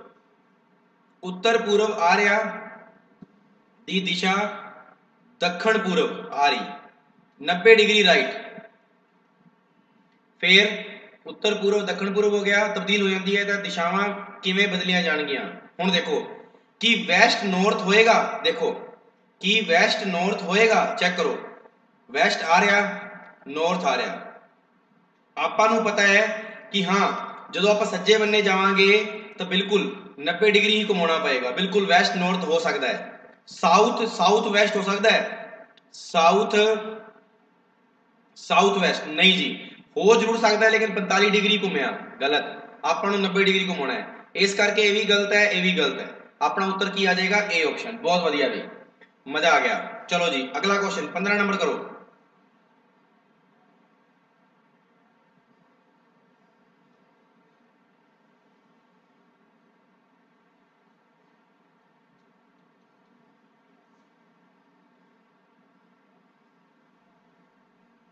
फटाफट ਇੱਕ ਦਿਸ਼ਾ ਆਧਾਰਿਤ ਖੰਭਾ ਹੈ। ਇੱਕ ਵਰਗ ਉੱਤੇ ਖੜਾ ਹੈ। ਖਰਾਬੀ ਕਾਰਨ ਦਿਸ਼ਾ ਸੂਚਕ ਪੂਰਬ ਦੀ ਦਿਸ਼ਾ ਵੱਲ ਸੰਕੇਤ ਕਰਦਾ ਹੈ। ਠੀਕ ਹੈ ਜੀ? ਉਹ ਦੱਖਣ ਦੀ ਦਿਸ਼ਾ ਦਿਖਾਉਂਦਾ ਹੈ। ਯਾਨੀ ਉੱਤਰ, ਜਿਹੜੀ ਪੂਰਬ ਦੀ ਦਿਸ਼ਾ ਹੋਣੀ ਚਾਹੀਦੀ ਹੈ, ਉਹ ਕਿਹੜੀ ਦਿਖਾਉਂਦਾ ਹੈ? ਦੱਖਣ ਦੀ ਦਿਖਾਉਂਦਾ ਹੈ। ਇਹਦਾ ਮਤਲਬ ਇਹ ਹੈ ਵੀ ਜਿਹੜੀ ਪੂਰਬ ਦੀ ਦਿਸ਼ਾ ਹੈ, ਉਹ ਕਿਹੜੀ ਦਿਸ਼ਾ ਦਿਖਾਉਂਦਾ ਹੈ? ਦੱਖਣ ਦੀ ਦਿਸ਼ਾ। ਯਾਨੀ ਕਹਿਣ ਦਾ ਭਾਵ ਇਹ ਹੋ ਗਿਆ ਕਿ ਜਿਹੜੀ ਪੂਰਬ ਦੀ ਦਿਸ਼ਾ ਹੈ, ਉਹ ਕਿਹੜੀ ਦਿਸ਼ਾ ਦਿਖਾਉਂਦਾ ਹੈ? ਉਹ ਦੱਖਣ ਦੀ ਦਿਸ਼ਾ ਦਿਖਾਉਂਦਾ ਹੈ। ਕਹਿਣ ਦਾ ਭਾਵ ਇਹ ਹੋ ਗਿਆ ਵੀ 90 ਡਿਗਰੀ ਕੀ ਦਿਖਾਉਂਦਾ ਹੈ? ਰਾਈਟ ਸਾਈਡ ਦਿਖਾਉਂਦਾ ਹੈ। ਕਲੀਅਰ ਹੁਣ ਉਹਨੇ ਕੀ ਪੁੱਛਿਆ? ਇੱਕ ਯਾਤਰੀ ਗਲਤ ਦਿਸ਼ਾ ਵੱਲ ਪੱਛਮ ਵੱਲ ਤੁਰ ਰਿਹਾ ਹੈ। ਯਾਨੀ ਗਲਤ ਦਿਸ਼ਾ, ਯਾਨੀ ਕਿ ਆਪਾਂ ਨੂੰ ਪਤਾ ਹੈ, ਪੂਰਬ ਵਾਲੀ ਦੱਖਣ ਦਿਖਾਉਂਦਾ ਹੈ। ਤੇ ਗਲਤ ਤਾਂ ਇਹੀ ਹੈ ਨਾ। ਇਹ ਤਾਂ ਸਹੀ ਹੈ। ਔਰ ਇਹ ਗਲਤ ਹੈ, ਯਾਨੀ ਉਹ ਆਪਾਂ ਨੂੰ ਗਲਤ ਦਿਖਾ ਰਿਹਾ ਹੈ। ਯਾਨੀ ਇਹ ਕਹ ਰਿਹਾ ਕਿ ਯਾਤਰੀ ਗਲਤ ਦਿਸ਼ਾ ਵੱਲ, ਕਿੱਧਰ? ਪੱਛਮ ਦਿਸ਼ਾ ਵੱਲ। ਆ ਲੋ ਜੀ। ਪੱਛਮ ਦਿਸ਼ਾ ਵੱਲ। ਯਾਨੀ ਕਹਿਣ ਦਾ ਭਾਵ ਇਹ ਹੋਇਆ ਵੀ ਤੁਸੀਂ ਸਹੀ ਤੋਂ ਗਲਤ ਵੱਲ ਗਏ ਸੀ ਬਟ ਹੁਣ ਤੁਹਾਨੂੰ ਗਲਤ ਤੋਂ ਕਿੱਧਰ ਹੋਣਾ ਹੈ? ਸਹੀ ਵੱਲ ਹੋਣਾ ਹੈ। ਉਹ ਅਸਲ ਵਿੱਚ ਕਿਸ ਦਿਸ਼ਾ ਵਿੱਚ ਜਾ ਰਿਹਾ ਹੈ ਨਾ ਯਾਨੀ ਆਪਾਂ ਨੂੰ ਸਹੀ ਵਾਲੀ ਡਾਇਰੈਕਸ਼ਨ ਦੱਸਣੀ ਹੈ। ਤਾਂ ਤੁਸੀਂ 90 ਡਿਗਰੀ ਰਾਈਟ ਗਏ ਸੀਗੇ। ਹੁਣ ਤੁਸੀਂ 90 ਡਿਗਰੀ ਕੀ ਆ ਜਾਓ ਪਿੱਛੇ? ਲੈਫਟ ਆ ਜਾਓ। 90 ਡਿਗਰੀ ਕੀ ਆ ਜਾਓ ਲੈਫਟ ਆ ਜਾਓ ਯੈਸ ਜਾਂ ਨੋ ਉਲਟਾ ਕਰਨਾ ਹੈ ਤੁਹਾਨੂੰ ਹੁਣ ਤੁਸੀਂ ਪੱਛਮ ਦਿਸ਼ਾ ਚੋਂ 90 ਡਿਗਰੀ ਲੈਫਟ ਆਉਂਗੇ ਤਾਂ ਕਿੱਧਰ ਆਉਂਗੇ ਸਾਊਥ ਵੱਲ ਆਉਂਗੇ ਕਿ ਨਹੀਂ ਆਉਂਗੇ ਫਟਾਫਟ ਦੱਸੋ ਯੈਸ ਜਾਂ ਨੋ ਯਾਨੀ ਆਪਣਾ ਜਿਹੜਾ ਆਨਸਰ ਆਏਗਾ ਉਹ ਸਾਊਥ ਆਏਗਾ ਇੱਥੇ ਗਲਤੀ ਕਰੂੰਗੇ ਮੈਨੂੰ ਪਤਾ ਸੀਗਾ ਸਾਰੇ ਜਣੇ ਇੱਥੇ ਗਲਤੀ ਕਰੂੰਗੇ ਮੈਨੂੰ ਪਤਾ ਸੀ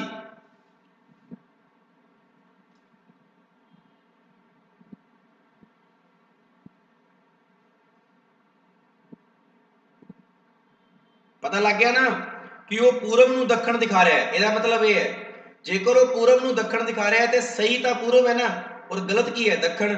ਉਸੇ ਤਰ੍ਹਾਂ ਇਹ ਕਹਿੰਦਾ ਵੀ ਗਲਤ ਦਿਸ਼ਾ ਵਿੱਚ ਜਾ ਰਿਹਾ ਬੰਦਾ ਪੱਛਮ 'ਚ। ਤਾਂ ਆਪਾਂ ਨੂੰ ਸਹੀ ਪੁੱਛੀ ਹੈ। ਇਹਦਾ ਮਤਲਬ ਜੇ ਤੁਸੀਂ 90 ਡਿਗਰੀ ਰਾਈਟ ਗਏ ਸੀ ਤਾਂ 90 ਡਿਗਰੀ ਲੈਫਟ ਆ ਜਾਓ ਹੁਣ। ਆ ਗਿਆ ਸਮਝ ਵਿੱਚ? ਫਟਾਫਟ ਦੱਸੋ ਵੀ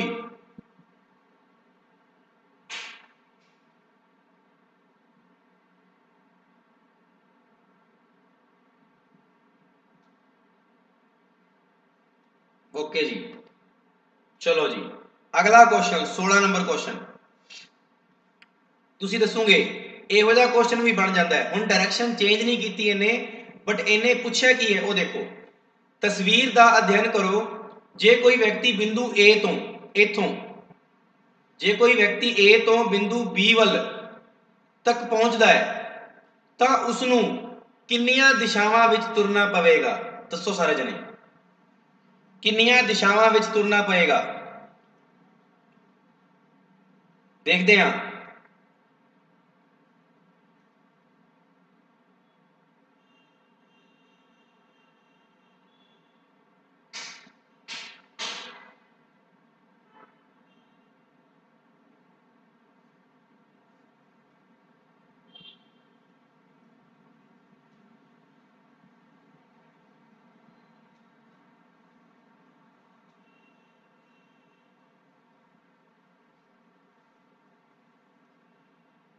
आ चीज देखो की लिखी है मैं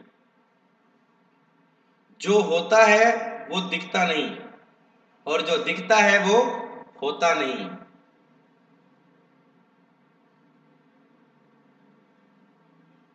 ਮੈਨੂੰ ਪਤਾ ਸੀਗਾ ਉੱਤਰ ਜਾਂ ਤਾਂ ਆਏਗਾ 8 ਤੇ ਜਾਂ ਆਏਗਾ 17 ਇਹਦਾ ਜਿਹੜਾ ਉੱਤਰ ਹੈ ਨਾ ਉਹ 8 ਹੈ ਇਹਦਾ ਜਿਹੜਾ ਉੱਤਰ ਹੈ ਉਹ 8 ਹੈ ਬਿਲਕੁਲ ਸੁਣੋ ਸਾਰੇ ਜਣੇ 17 ਆਨਸਰ ਕਦੋਂ ਆਏਗਾ ਪਹਿਲਾਂ ਸੁਣੋ। ਜਿੰਨੇ 17 ਕੱਢਿਆ, ਉਹਨੇ ਤਾਂ ਪਤਾ ਕੀ ਕੀਤਾ? 1 2 3 4 5 6 7 8 9 10 11 12 13 14 15 16 ਤੇ 17 ਉਹਨੇ ਤਾਂ 17 ਐਵੇਂ ਕੱਢਿਆ। ਇਹ ਗਲਤ ਵੀ ਹੈ ਔਰ ਇਹ ਸਹੀ ਵੀ ਹੈ। ਸਹੀ ਕਿਵੇਂ ਹੈ? ਜੇ ਉਹ ਇੱਥੇ ਇਹ ਪੁੱਛਦਾ, ਤਾਂ ਉਸਨੇ, ਪਹਿਲਾ ਕੁਐਸਚਨ ਤਾਂ ਉਸਨੇ ਤਾਂ ਉਸਨੇ ਕਿੰਨੀ ਵਾਰੀ ਦਿਸ਼ਾਵਾਂ ਤੁਰੀਆਂ? ਕਿੰਨੀ ਵਾਰੀ? ਤਾਂ ਵਾਰੀ ਦਾ ਮਤਲਬ ਤਾਂ ਪੱਕਾ ਹੀ ਹੈ ਜੇ 17 ਹੀ ਆਏਗਾ, ਕਿਉਂਕਿ ਹਰ ਵਾਰੀ ਚੇਂਜ ਮੰਨਿਆ ਜਾਏਗਾ ਵਾਰੀ, ਤਾਂ 17 ਵਾਰੀ। ਲੇਕਿਨ ਕੁਐਸਚਨ ਕੀ ਪੁੱਛਿਆ ਹੈ? ਕੁਐਸਚਨ ਪੁੱਛਿਆ ਹੈ ਕਿ ਤਾਂ ਉਸ ਨੂੰ ਕਿੰਨੇ ਦਿਸ਼ਾਵਾਂ ਵਿੱਚ ਤੁਰਨਾ ਪਏਗਾ? ਸਿਰਫ ਦਿਸ਼ਾਵਾਂ ਵਿੱਚ। ਇੱਥੇ ਦਿਸ਼ਾਵਾਂ ਦੀ ਗੱਲ ਆ ਰਹੀ ਹੈ। ਜਦੋਂ ਦਿਸ਼ਾਵਾਂ ਦੀ ਗੱਲ ਆਏਗੀ ਤਾਂ ਧਿਆਨ ਨਾਲ ਸਾਰੇ ਜਣੇ ਫਟਾਫਟ ਇੱਧਰ ਦੇਖਿਓ ਦੇਖੋ, ਸਭ ਤੋਂ ਪਹਿਲਾਂ ਤਾਂ ਉਹ ਬੰਦਾ ਗਿਆ ਇੱਧਰ। ਆ ਜਿਹੜੀ ਦਿਸ਼ਾ ਹੁੰਦੀ ਹੈ, ਤੁਹਾਨੂੰ ਸਾਰਿਆਂ ਨੂੰ ਪਤਾ ਹੈ ਦਿਸ਼ਾ ਕਿਹੜੀ ਹੁੰਦੀ ਹੈ? ਉੱਤਰ ਪੱਛਮ ਯਾਨੀ ਨਾਰਥ ਵੈਸਟ ਇਹ ਪਹਿਲੀ ਦਿਸ਼ਾ ਹੋ ਗਈ। ਫਿਰ ਉਹ ਇੱਧਰ ਨੂੰ ਗਿਆ। ਜੇ ਉਹ ਇੱਧਰ ਨੂੰ ਗਿਆ ਤਾਂ ਇਹ ਵੀ ਦਿਸ਼ਾ ਚੇਂਜ ਹੋ ਗਈ ਔਰ ਇਹ ਦਿਸ਼ਾ ਕਿਹੜੀ ਹੋ ਗਈ? ਇਹ ਹੋ ਗਈ south west south west yes ਜਾਂ ਨੋ ਫਿਰ ਉਸ ਤੋਂ ਬਾਅਦ ਵਿੱਚ ਉਹ ਥੱਲੇ ਨੂੰ ਗਿਆ ਔਰ ਇਹ ਕਿੱਧਰ ਨੂੰ ਗਿਆ? ਦੱਖਣ ਵੱਲ, ਯਾਨੀ ਸਾਊਥ ਵੱਲ। ਸਿਰਫ ਕਿੱਧਰ ਨੂੰ ਗਿਆ? ਸਾਊਥ ਵੱਲ। ਫਿਰ ਉਸ ਤੋਂ ਬਾਅਦ ਉਹ ਇੱਧਰ ਨੂੰ ਗਿਆ। ਔਰ ਆਹ ਦਿਸ਼ਾ ਕਿਹੜੀ ਹੁੰਦੀ ਹੈ? ਸਾਊਥ ਈਸਟ ਸਾਊਥ ਈਸਟ ਫਿਰ ਉਸ ਤੋਂ ਬਾਅਦ ਇਹ ਇੱਧਰ ਨੂੰ ਗਿਆ। ਔਰ ਇੱਧਰ ਵਾਲੀ ਦਿਸ਼ਾ ਹੁੰਦੀ ਹੈ ਨਾਰਥ ਈਸਟ ਹਜੇ ਤੱਕ ਸਾਰੀਆਂ ਦਿਸ਼ਾਵਾਂ ਕੀ ਨੇ? ਅੱਡ ਅੱਡ ਨੇ। ਸਾਰੀਆਂ ਦਿਸ਼ਾਵਾਂ ਕੀ ਨੇ? ਅੱਡ ਅੱਡ ਅੱਗੇ ਚੱਲੋ। ਫਿਰ ਉਸ ਤੋਂ ਬਾਅਦ ਕਿੱਧਰ ਨੂੰ ਗਿਆ? ਫਿਰ ਉਸ ਤੋਂ ਬਾਅਦ ਗਿਆ ਜੀ ਉੱਤਰ ਵੱਲ। ਕਿੱਧਰ ਨੂੰ ਗਿਆ? ਉੱਤਰ ਨਾਰਥ ਲਓ ਜੀ। ਫਿਰ ਉਸ ਤੋਂ ਬਾਅਦ ਕਿੱਧਰ ਨੂੰ ਗਿਆ? ਵੈਸਟ ਵੱਲ। ਹਾਲੋ ਜੀ। ਹੁਣ ਤੱਕ ਸਾਰੀਆਂ ਦਿਸ਼ਾਵਾਂ ਅੱਡ ਅੱਡ ਸੀਗੀਆਂ। 1 2 3 4 5 6 7 ਹੁਣ ਤੱਕ ਸਾਰੀਆਂ ਦਿਸ਼ਾਵਾਂ ਕੀ ਸੀਗੀਆਂ? ਚੇਂਜ। ਹੁਣ ਤੁਸੀਂ ਦੇਖੋ, ਹੁਣ ਹੋ ਗਿਆ ਇਧਰ ਨੂੰ।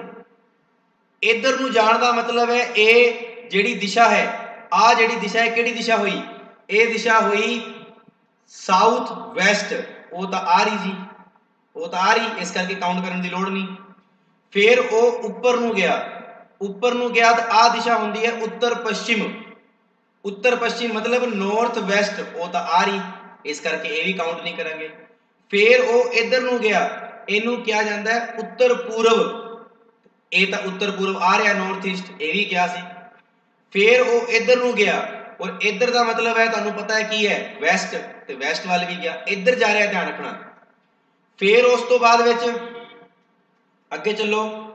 ਵੈਸਟ ਵੱਲ ਜਾਣ ਤੋਂ ਬਾਅਦ ਥੱਲੇ ਨੂੰ ਗਿਆ ਸਾਊਥ ਤਾਂ ਸਾਊਥ ਤਾਂ ਦੇਖੋ ਆ ਰਿਹਾ, ਇਹ ਵੀ ਕਾਊਂਟ ਕਰ ਲਿਆ।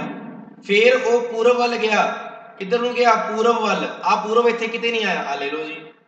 ਆ ਲਓ ਜੀ। ਈਸਟ ਲੈ ਲਿਆ। ਫਿਰ ਪੂਰਬ ਵੱਲ ਜਾ ਕੇ ਫਿਰ ਸਾਊਥ ਵੱਲ ਗਿਆ। ਸਾਊਥ ਆ ਰਿਹਾ। ਫਿਰ ਉਹ ਇੱਧਰ ਨੂੰ ਗਿਆ, ਇਹ ਕਿਹੜੀ ਹੈ ਵੈਸਟ ਇਹ ਵੀ ਆਪਾਂ ਲੈ ਲਿਆ। ਫਿਰ ਨਾਰਥ ਵੱਲ ਗਿਆ, ਇਹ ਵੀ ਆਪਾਂ ਲੈ ਲਿਆ। ਫਿਰ ਈਸਟ ਵੱਲ ਗਿਆ, ਇਹ ਵੀ ਆਪਾਂ ਲੈ ਲਿਆ।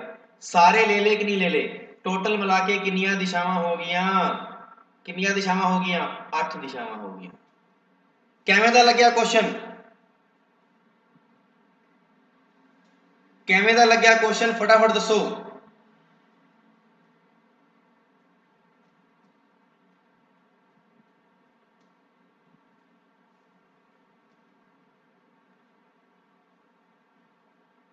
ਫਟਾਫਟ ਦੱਸੋ ਵੀ ਕਿਵੇਂ ਦਾ ਲੱਗਿਆ ਕੁਐਸਚਨ ਤੁਹਾਨੂੰ ਸਾਰਿਆਂ ਨੂੰ ਬਹੁਤ ਵਧੀਆ ਵੀ ਬਹੁਤ ਵਧੀਆ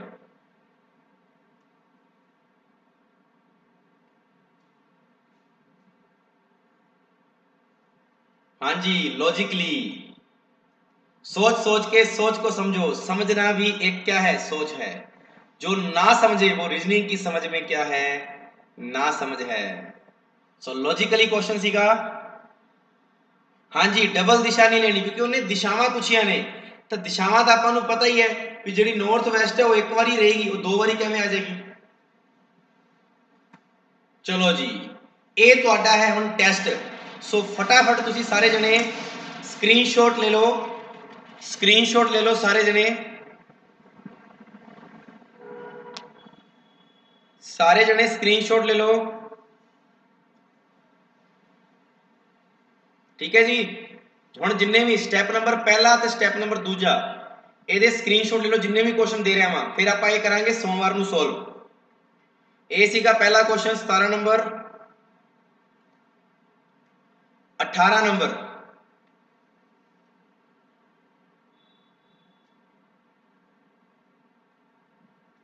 is that clear 19 number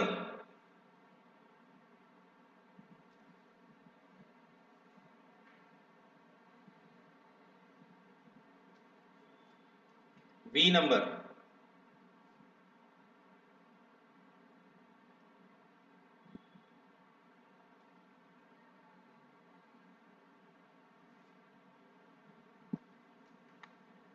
इक्की नंबर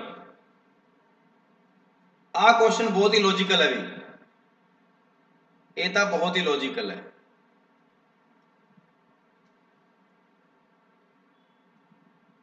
बाई नंबर क्वेश्चन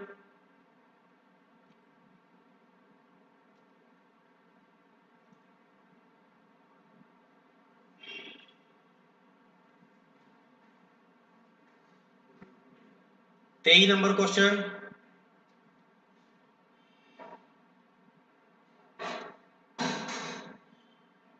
ਇਹਦਾ ਵੀ ਸਕਰੀਨਸ਼ਾਟ ਲੈ ਲਓ ਫਟਾਫਟ। 24 ਨੰਬਰ ਕੁਐਸਚਨ ਇਹਦਾ ਵੀ ਸਕਰੀਨਸ਼ਾਟ ਮਾਰ ਲਓ ਫਟਾਫਟ।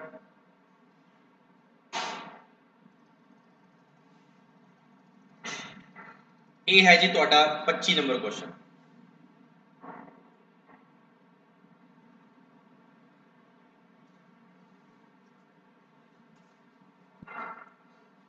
ਠੀਕ ਹੈ ਜੀ? ਇਹ ਹੈ ਜੀ ਤੁਹਾਡੇ 25 ਕੁਐਸਚਨ ਜਿੰਨੇ ਵੀ ਕੁਐਸਚਨ ਦਿੱਤੇ ਨੇ, ਉਹ ਸਾਰੇ ਦੇ ਸਾਰੇ ਕਰਕੇ ਦੇਖਿਓ ਕੱਲ ਸੰਡੇ ਦਾ ਟਾਈਮ ਹੈ ਤੁਹਾਡੇ ਕੋਲੇ। ਔਰ ਤੁਹਾਨੂੰ ਮੈਂ ਰੈਂਕਿੰਗ ਟੈਸਟ ਦੀ ਵੀ ਸੀਰੀਜ਼ ਦਿੱਤੀ ਸੀਗੀ, ਕਰ ਲਈ ਹੋਊਗੀ, ਤੁਸੀਂ ਬਹਿ ਕੇ ਆਪਦੇ ਆਪ। ਫਿਰ ਉਸ ਤੋਂ ਬਾਅਦ ਮੈਂ ਬਲੱਡ ਰਿਲੇਸ਼ਨ ਦੀ ਵੀ ਦੇਤੀ ਸੀ ਬਲੱਡ ਰਿਲੇਸ਼ਨ ਵੀ ਤੁਸੀਂ ਕਰ ਲਿਓ। ਆਹ ਕੁਐਸਚਨ ਹੋਰ ਕਰੋ, ਠੀਕ ਹੈ ਨਾ? ਤੇ ਇੱਕ ਦਿਨ ਆਪਾਂ ਲਾਵਾਂਗੇ ਡਾਊਟ ਸੈਸ਼ਨ ਡਾਊਟ ਸੈਸ਼ਨ ਦਾ ਜਿਹੜਾ ਕਲਾਸ ਰਹੇਗੀ ਆਪਣੀ, ਮੈਂ ਦੇਖ ਲਾਂਗਾ। ਅਗਲੇ ਸ਼ਨੀਵਾਰ ਰੱਖ ਲਾਂਗੇ ਆਪਾਂ। ਜਿੰਨੇ ਵੀ ਕੁਐਸਚਨ ਤੁਹਾਡੇ ਡਾਊਟ ਦੇ ਹੋਏ, ਉਹ ਸਾਰੇ ਪੁੱਛ ਲਓ ਸ਼ਨੀਵਾਰ ਨੂੰ। ਠੀਕ ਹੈ ਜੀ?